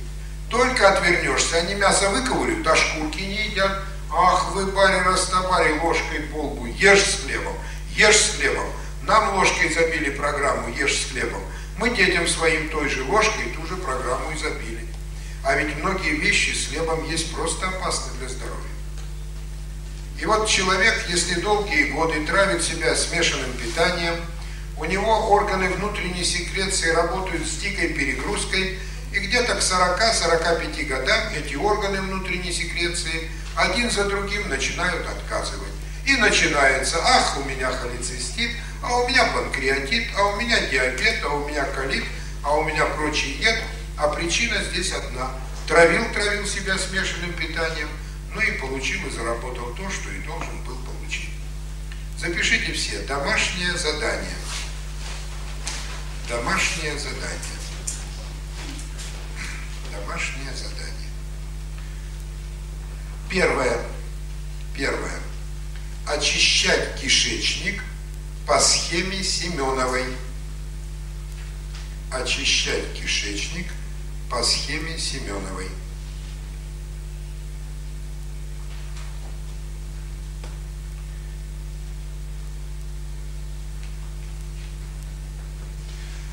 Я вам сегодня также раздал один листочек, на котором написан материал Семенова «Гигиена питания и гигиена организма». А сама Надежда Алексеевна Семенова – это известный пропагандист здорового образа жизни. В 39 лет она директор э, холодильника, крупного холодильника э, в городе Ростове-на-Дону, была списана умирать. Инвалидом первой группы ее из больницы выписали, что умрет. Она умирать не захотела, полезла в народную медицину, полезла в зарубежную медицину и выяснила, что многие продукты друг друга, э, так сказать, несовместимы, они человека убивают, и она перешла на раздельное питание, очистила свой организм полностью и описывает вот этот сверхмарафон к себе, очистки своего организма на вот этом вот листочке. И она пишет, первый шаг – это промывание кишечника. Она пишет, в 2 литра охлажденной кипяченой воды добавить столовую ложку сока лимона. Если нет сока лимона, то можно ничего не добавлять, просто воду чистую. Залить все это в кружку эсмарха. Кружка эсмарха звучит очень грозно, но это простая грелка со шлангом. Это прибор для промывания кишечника. В любом фельдшерском пункте есть. У нас их дома две оказалось. Я даже не знал, что это кружка эсмарха. Положение во время процедуры на, на локтях и коленях. Дышать в том, живот расслаблен. Процедуру проводить перед сном. Значит, человек встает на локти и на колени, вставляет эту трубочку себе сзади в кишечник, открывает краник, расслабляет живот, эта вся вода ему заходит внутрь в кишечник, потом он аккуратненько встал, походил, побулькал, чтобы там побольше этих каловых камней захватить, и через 5-7 минут бежит в туалет, с него со свистом все это дело выходит. Кстати, очищение кишечника – это соратники все, все системы очистки организма, начиная от йогов, кончая там Малахов и прочее, прочее, все они начинаются с очистки толстого кишечника. Потому что дальше очищать какие-то другие органы человеку опасно, потому что мощные шлаковые выбросы из толстого кишечника могут просто повредить его здоровью. Поэтому эту процедуру мы всем рекомендуем сделать, очистить кишечник. Если нет кружки эсмарка, можно взять просто большую клизму. Что? Нет, сюда не надо приносить эту кружку эсмарка. Это дело интимное. Вот, надо делать дома, самому. Если какие-то возникнут вопросы, можно потом будет подойти, у меня спросить. Я, в общем, поясню и расскажу. И второе запишите, второе домашнее задание – перейти на раздельное питание. Второе – перейти на раздельное питание. При этом, двоеточие – перейти на раздельное питание. При этом двоеточие. Первое. Резко уменьшается потребность в пище. При этом резко уменьшается потребность в пище. Человек, который смешанно питается, сколько бы он ни съел, он постоянно ходит голодным – ему хочется кушать. Почему? Потому что достаточное количество питательных веществ в кровь не поступает. Переходит на раздельное питание, ест в два раза меньше и ходит сытый, потому что постоянно, так сказать, в кровь питательные вещества у него поступают. Второе. Улучшается самочувствие при переходе на раздельное питание. Улучшается самочувствие.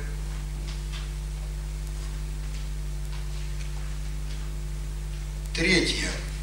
Проходят болезни желудочно-кишечного тракта. Проходят болезни желудочно-кишечного тракта. Проходят болезни желудочно-кишечного тракта. И четвертое. Нормализуются выделения нормализуются выделения. То есть человеку не стыдно становится ходить в туалет.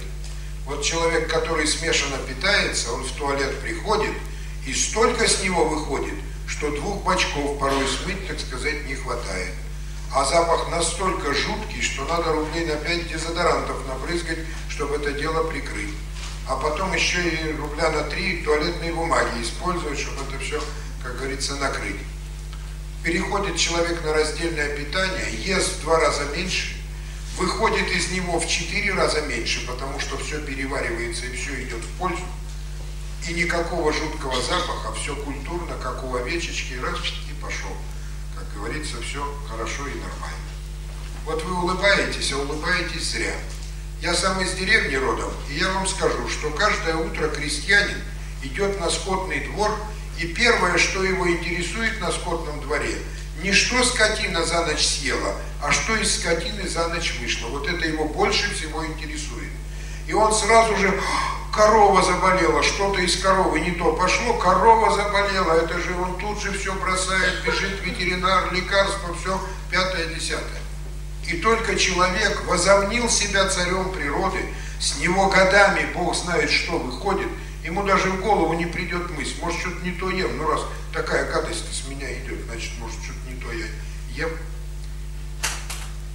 Запишите все выводы, выводы, выводы. Смешанное питание, выводы, смешанное питание – это работа на болезни и унитаз. Смешанное питание – это работа на болезни и унитаз. Раздельное питание – это работа на свое здоровье. Раздельное питание – это работа на свое здоровье.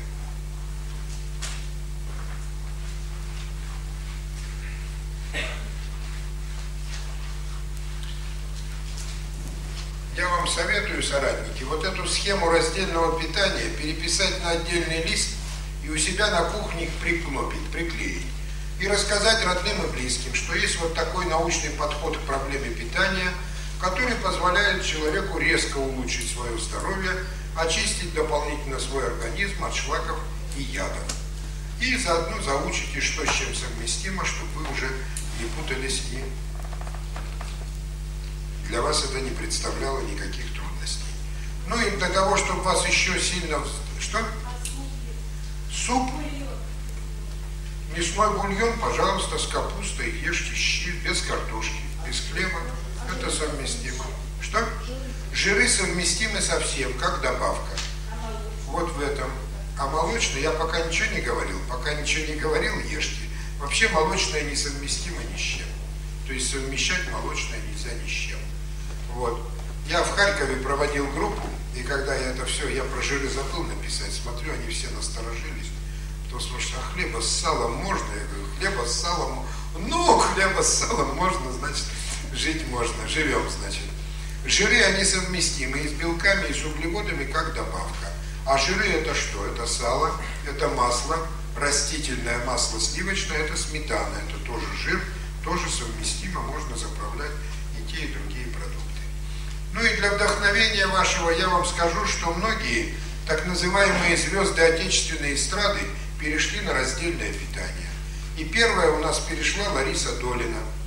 И она вот года три назад, она себя ну, превратила, она в 18 лет не была такой стройной, понятие, молодой, как вот выглядит сейчас. Глядя на Ларису Долину, а, Алла Борисовна со своим юным супругом Филиппом Педросовичем тоже перешли на раздельное питание – они, правда, удержались всего 7 месяцев на раздельном питании. Отказались тоже и от сигарет, и от кофе, и от алкоголя. Но вот рождественские встречи 98 -го года, вот вы посмотрите на Пугачеву, ее просто было не узнать, понимаете, она физиологически помолодела. Это не откачка жира там и прочее. Это физиологическое омоложение, связанное с правильным раздельным питанием. Ну и последнюю тему все запишите. Упражнения на центральную фиксацию. Упражнение на центральную фиксацию.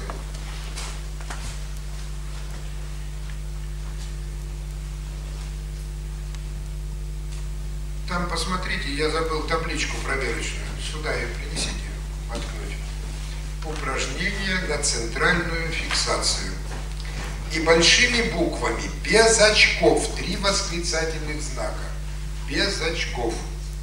Три восклицательных знака. без очков. Три восклицательных знака. И запишите первое, первое упражнение. Улица, первое, улица, тире дом, тире окно в доме, окно в доме, тире оконный переплет. Оконный переплет. Второе упражнение. Толпа на остановке. Толпа на остановке. Тире. Человек в очках.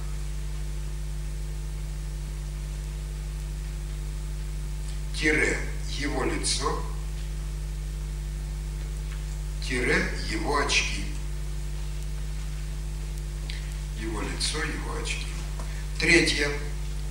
Страница текста. Страница текста. Тире. Строка. Тире.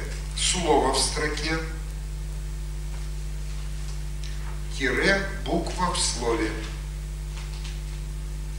Буква в слове. И последнее Четвертое. Упражнение со свечой, с предметом. Упражнение со свечой,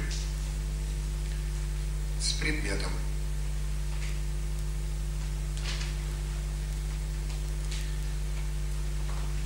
Что такое центральная фиксация? Если мы, соратники, посмотрим на человеческий глаз сбоку в разрезе, он выглядит вот таким образом. Это круг, в передней части хрусталик, а задняя поверхность глаза изнутри выслана так называемой сетчаткой. Эта сетчатка, она вот так находится, а прямо напротив зрачка, на оси зрительной, она сходит на нет и образует так называемую центральную ямку. И вот это вот место, вот это место, оно имеет желтый цвет и называется желтое пятно. Оно же, это место называется макула, макула, а центр этого места называется центральная ямка. И вот эта центральная ямка – это самая светочувствительная часть человеческого глаза. И человек лучше всего видит то, что у него попадает в центральную ямку, в центр его глаза. Вот, например, я на вас смотрю, я вас прекрасно вижу, потому что ваше изображение и в правом и в левом глазу мне попадает точно в центральную ямку. Я и вас вижу, кто там сидит, но вас я вижу боковым зрением, а его чувствительность в тысячу раз хуже. И я даже не могу сказать, кто там, мужчина, женщины сидят, просто вижу, что кто-то сидит. Потому что вас я вижу сейчас боковым зрением, а его чувствительность очень плохая. Так вот, соратники, у всех людей, которые носят очки, у них нарушена центральная фиксация. Что это такое? Смотрите, можно ваши очки? Вот по науке каждому из вас вот эти очки должны были делать в специальной лаборатории и подгонять центры линз под центры ваших глаз с точностью до одной десятой доли миллиметра. Такие очки делали только Борис Николаевичу и Леониду Ильичу. Простым людям таких очков не делают. Делают кое-как эти очки, и в результате, когда человек надевает очки, у него один глаз смотрит точно через центр линзы право, право, а второй смотрит через призначку, чуть в бок. И в результате, чтобы через очки и в правом и в левом глазу изображение попало точно в центр глаза, человек вынужден один глаз слегка закашивать. И у него из-за некачественности очков под очками развивается очень слабое внутреннее косоглазие. И когда человек снимает очки, и смотрит на что-то, у него один-то глаз смотрит прямо, а второй чуть-чуть в сторону. И в результате в одном глазу у него изображение попадает точно в центр, а во втором чуть раз рядом. И за счет этого изображение букв на таблице расплывается, размывается. И вот восстановить центральную фиксацию – это в два раза просто улучшить сразу свое зрение. И поэтому с сегодняшнего дня вы при любой удобной минуте снимаете очки в карман – и делаете упражнения на восстановление центральной фиксации. Как они делаются? Допустим, вы подходите к окну, сняли очки, поморгали, а легкое моргание расслабляет мышцы глаз и заставляет их снова, так сказать, встать параллельно.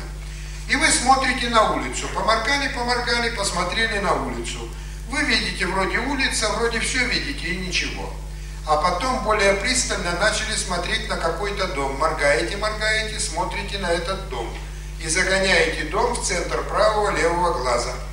А потом в доме выбираете окно какое-то, моргаете, моргаете и более пристально смотрите на это окно. И загоняете окно в правый и левый глаз, в центр глаза. А потом на окне пристально посмотрели, поморгали на оконный переплет. Вот у вас вы сделали упражнение на восстановление центральной фиксации. Вот сейчас после занятий вы выйдете и поедете домой на автобусе. На саму остановку автобусную не заходите. Там люди травятся табаком, они вас отравят табачным ядовитым дымом. Вы встаньте с подветренной стороны, очки в карман и сделайте упражнение на восстановление центральной фиксации. А именно, поморгали, поморгали, вот вы видите, стоит толпа. Поморгали, поморгали, выбрали человека в очках. Поморгали, поморгали, сосредоточили внимание на его лице, поморгали, поморгали, сосредоточили внимание на его очках. Вот вы сделали упражнение на восстановление центральной фиксации. Кстати, если этот человек обратит на вас внимание, чуть ты на меня смотришь и моргаешь, то вы не тушуйтесь. Если вы поняли, что он на вас тоже обратил внимание, вы к нему подойдите и скажите, вы в очках? Он скажет, в очках. А я-то уже без очков, вон они, в кармане лежат. Занимаюсь по методу Шичко-Пейца, восстанавливаю свое зрение. Рекламируйте это дело, в том числе и таким образом. Третье упражнение. Вы берете любую страницу текста, любую, ну вот я беру анкету. Сняли очки, все это делается без очков. И я моргая смотрю, вот я вижу, что какими-то русскими буквами что-то здесь написано, что написано, не понимаю. Но вот потом я моргаю и сосредоточил внимание на какой-то строчке. Вот на седьмой строчке. Какое зрение с коррекцией. Моргаю, моргаю, и я эту строчку пропускаю через центр правого левого глаза. А теперь в этой строчке я беру слово «зрение». Моргаю, моргаю, моргаю, сосредоточил внимание. Слово «зрение» загнал в центр глаза. А теперь в слове «зрение» сосредоточил внимание на букве «Е», второй. Поморгал, поморгал, вот я сделал упражнение на восстановление центральной фиксации. А сейчас все сняли очки, поморгали, поморгали, и давайте сделаем центральную фиксацию на меня. Все поморгали, посмотрели в мою сторону, просто поморгали, поморгали, поморгали. Сосредоточили внимание в районе доски, поморгали, поморгали, сосредоточили внимание на мне, поморгали, поморгали и, скажем, на микрофон. Поморгали, поморгали. Легкое-легкое моргание заставляет расслабить мышцы глаз и подстроить, чтобы их видеть четко. Давайте сделаем упражнение на центральную фиксацию, на табличку. Все на нее посмотрели. Посмотрели рассеянно в сторону доски, поморгали, поморгали, поморгали. На таблицу, на белое пятно, поморгали, поморгали. Верхнюю строчку, поморгали, поморгали. Правую или левую букву. Вот вы сделали упражнение на восстановление центральной фиксации. Я сейчас зажгу свечку, и мы сделаем то же самое со свечой.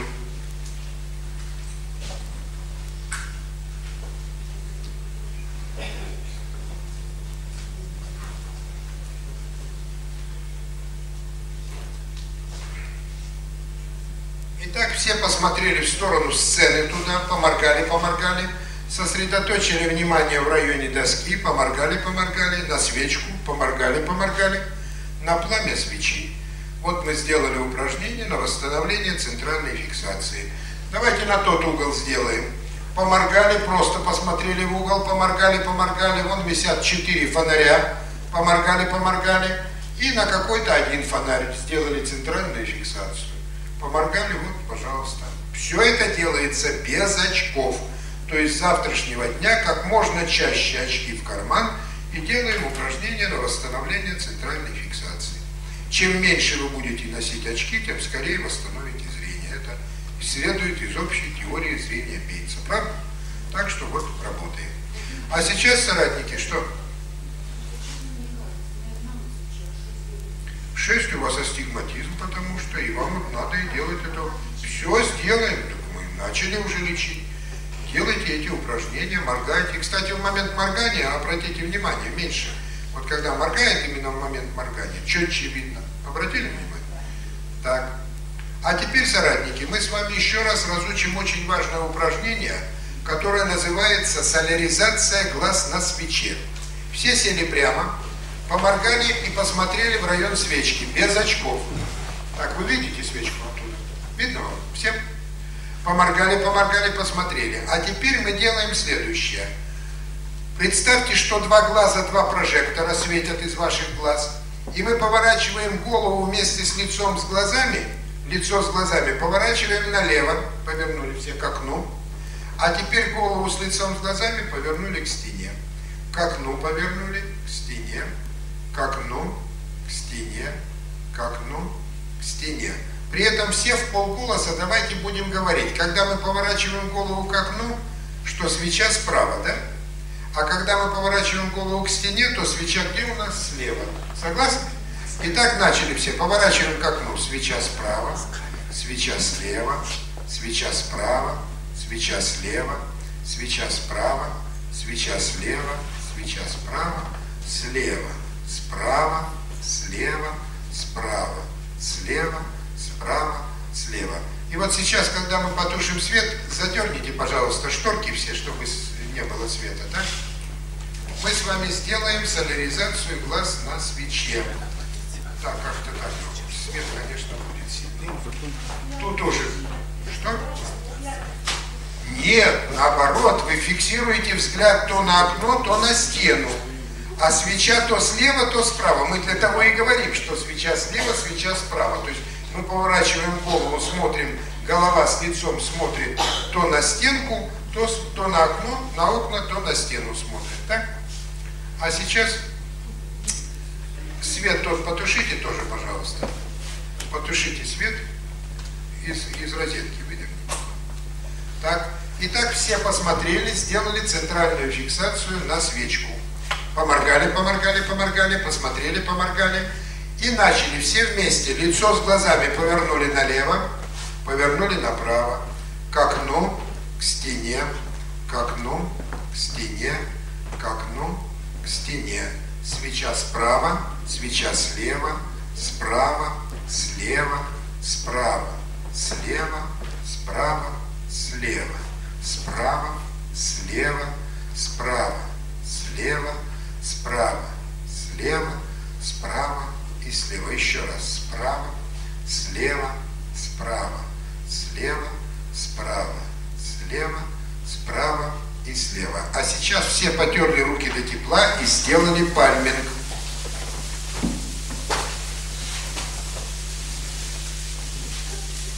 Так, сложили ладошки домиком все. Сложили все ладошки домиком, надели себе на глаза. Все пока прямо сидят, мы пройдем, проверим с Александром Алексеевичем, правильно ли вы делаете. Пальцы перекрещены, пальцы перекрещены и надеваете себе на глаза. Обратите внимание, чтобы нос у вас торчал между мизинцами, чтобы нос дышал, так, чтобы глаза попадали у вас в ямочки ладоней. В ямочки ладоней, чтобы они могли спокойно открываться, закрываться. А сейчас все локти поставьте себе на колени, либо на подлокотники, либо на впереди стоящую спинку кресла, кому как удобней, чтобы у вас вот это вот было упражнение пальминг, чтобы локти обязательно стояли на чем-то твердом. Либо на колени, либо на спинку впереди стоящего кресла. И глазки все закрыли, успокоились, расслабились. Начинаем наш вечерний пальминг. Начинаем расслабление мышц наших глаз. Наши глазки хорошие, наши глазки отдыхают. С каждым днем наши глазки будут видеть все лучше и лучше. Мышцы наших глаз расслабляются. И вот сейчас близорукие представляют, как у них расслабляются косые мышцы глаз – как у них глазки становятся круглыми, шариками, как они будут прекрасно видеть вдаль, безо всяких очков. А дальнозоркие, у кого плоские глаза, представляют, как у них расслабляются прямые мышцы глаз. Как они позволят нашим глазкам легко-легко вытягиваться вперед огурчиками и прекрасно видеть вблизи, безо всяких очков. Расслабляется сетчатка наших глаз, расслабляются светочувствительные клетки, колбочки, палочки, расслабляются сосудики, питающие кровью сетчатку. Кстати, у людей, которые носят очки, резко ухудшено кровоснабжение сетчатки глаза. И врачи-офтальмологи на офтальмоскопе сразу видят очкариков. У них синяя сетчатка, у нормальных людей сетчатка розовая, насыщена кровью, питательными веществами, кислородом. Мы же с вами, делая упражнения, улучшаем кровоснабжение наших глаз. Весь расслабляются клетки зрительного нерва, расслабляются клетки зрительного анализатора в мозгу. Весь наш зрительный тракт расслаблен. Сегодня мы совершили решительный шаг – пришли на занятия в Народный университет здорового образа жизни по методу Геннадия Андреевича Шичко. Сегодня мы узнали о том, что люди не виноваты в том, что они курят, пьют, переедают, сквернословят, носят очки, имеют другие вредные привычки. Их так запрограммировали. Эти люди являются рабами ложных программ, записанных у них на уровне подсознания.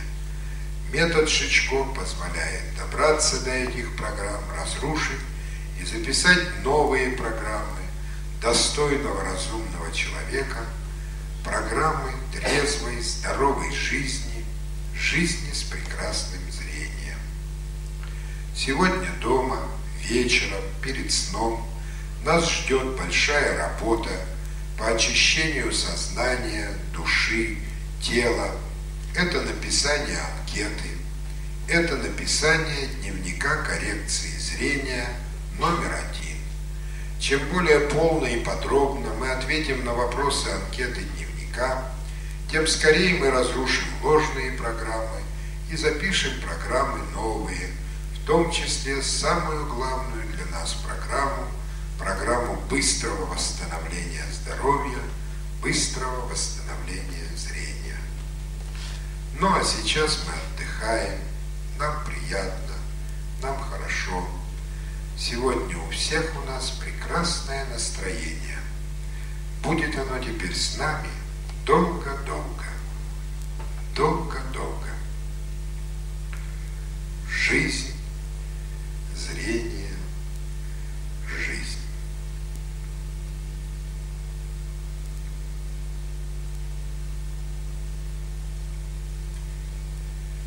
А сейчас у всех глаза закрыты, ладошки на носу, сели прямо. И все под ладошками глазки слегка зажмурили, ослабили, зажмурили, ослабили, зажмурили, ослабили. У всех глаза закрыты, ладошки сняли. И все носом нарисовали веселого человечка. Точка, точка, запятая, вышла рожица кривая. Пошевелите головой, чтобы восстановить кровоснабжение ручки, ножки, огуречек, вот и вышел человечек. Кстати, рисование носом букв, рисование носом человечков – это тоже упражнение по методу Бейца. А сейчас глазки все тихонечко протерли, как дети, вздохнули глубоко, выдохнули и открываем глаза, быстро-быстро моргая. Поморгали, поморгали, поморгали, поморгали. И посмотрели все на меня, посмотрели друг на друга – посмотрели на соседа справа, соседа слева и познакомьтесь каждый с соседом справа, с соседом слева. Потому что вам целую неделю сидеть на этом месте, у соседа справа и соседа слева точно такие же проблемы, как и у вас, поэтому интересуйтесь, как идут дела, что там интересно, понял, не понял. Назовите, как вас зовут, ваше имя назовите. Так, там уже он обниматься полезли, нет, это еще рано еще. Вот. И э, запомните каждый, завтра вы сядете на это же самое место. То есть это ваше место будет на весь курс занятий. Понятно? А сейчас снова потерли все руки до тепла и сделали пальминг.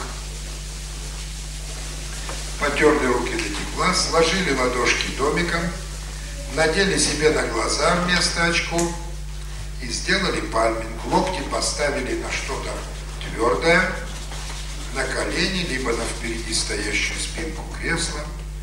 Глазки все закрыли, успокоились, расслабились. Продолжаем наш вечерний пальминг. Продолжаем расслабление мышц наших глаз. Для того, чтобы лучше и быстрее расслабить зрение, Бейтс придумал два упражнения под пальмингом. Первое он назвал мысленное представление. И вот всякий раз, когда вы делаете пальминг, обратите внимание, перед глазами какие-то остаточные световые образы. Телевизор маячит, свечка, кусок окна, лампочка, какой-то туман, облачка. Это свидетельствует о том, что перевозбужден зрительный тракт. Свет-то на глаза не падает, а нам кажется, что мы что-то видим. И вот здесь Бейтс предлагает мысленно представить, что вы находитесь, скажем, в театре. Перед вами большой черный бархатный занавес. Вы ждете начала прекрасной постановки, и вот звенит третий звонок, гаснет свет, а занавес все чернее, темнее, темнее.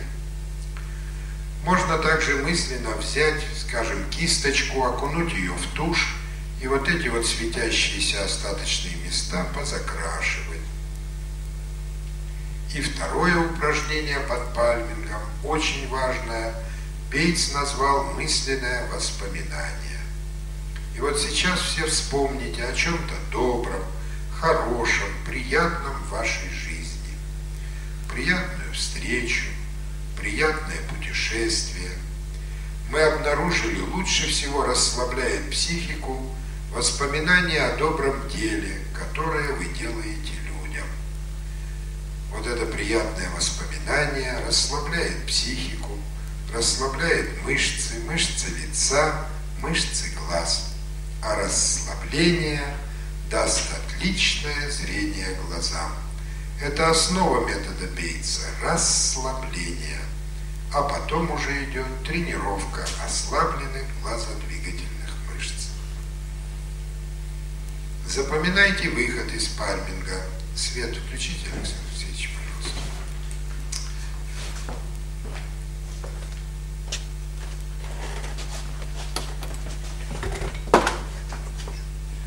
И верхний тоже.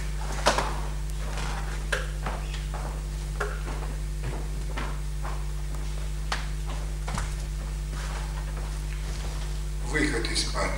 У всех глаза закрыты, у всех ладошки на носу, сели все прямо. Чуть приоткройте эту Григорий сюда, чуть-чуть переднюю.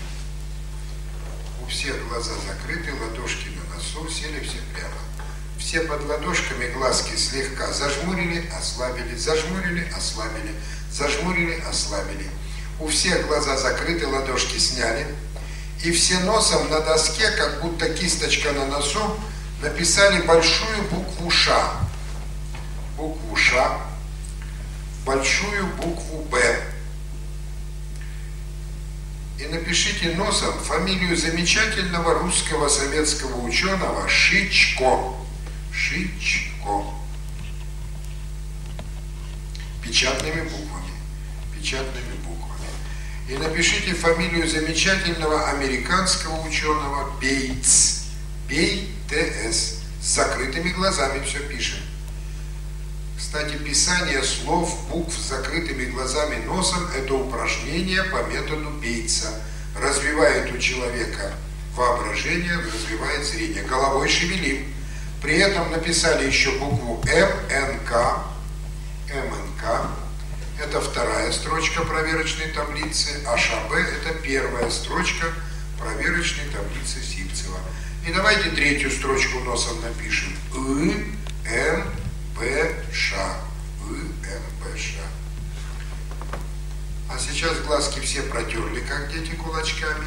Вздохнули глубоко, выдохнули и открываем глаза, быстро-быстро моргая. Поморгали, поморгали, поморгали, поморгали. И посмотрели все на табличку. Поморгали, посмотрели на табличку. Поморгали, посмотрели на меня. Посмотрели на зал. А сейчас я попрошу всех близоруких тихонечко прикройте веки и растяните в сторону, как китайцы, китайские глазки, близорукие. И посмотрите на табличку. Кто-то увидит строчку, кто-то две, а кто-то и три. Что при этом происходит? У близоруких вытянуты вперед глаза, а мы, прижимая их э, веками, делаем более круглыми, и, соответственно, у нас что? Улучшается, приближаем хрусталик к сетчатке, фокус приближаем к сетчатке, и острота зрения возрастает. А сейчас все и близорукие, и дальнозоркие, давайте у себя найдем астигматичные точки. Все закрыли левый глаз ладошкой, а правый глаз смотрит на табличку либо на меня правым глазом, и тихонечко снизу через веко нажали на правый глаз. Нажали, прижали и смотрим через веко прямо на глазное яблоко жмем. Прямо на глазное яблоко. Глаз все время смотрит. Все время смотрит на табличку, а тут глаз. Он все время открыт. Дайте палец. Дайте палец. Я согласен.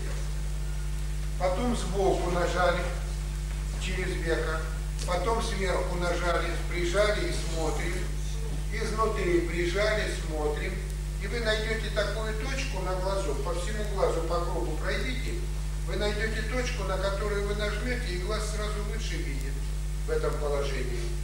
Вот это астигматичная точка. Значит, у вас в эту сторону слегка вынут деформирован глаз, а вы его пальчиком прижали, и сразу глаз видит лучше. Кстати, у тех дальнозорких и у кого плоский глаз – надо взять и сбоку нажать, с самого боку, на глазик, чтобы он удлинился вперед, и он увидит лучше у дальнозорких.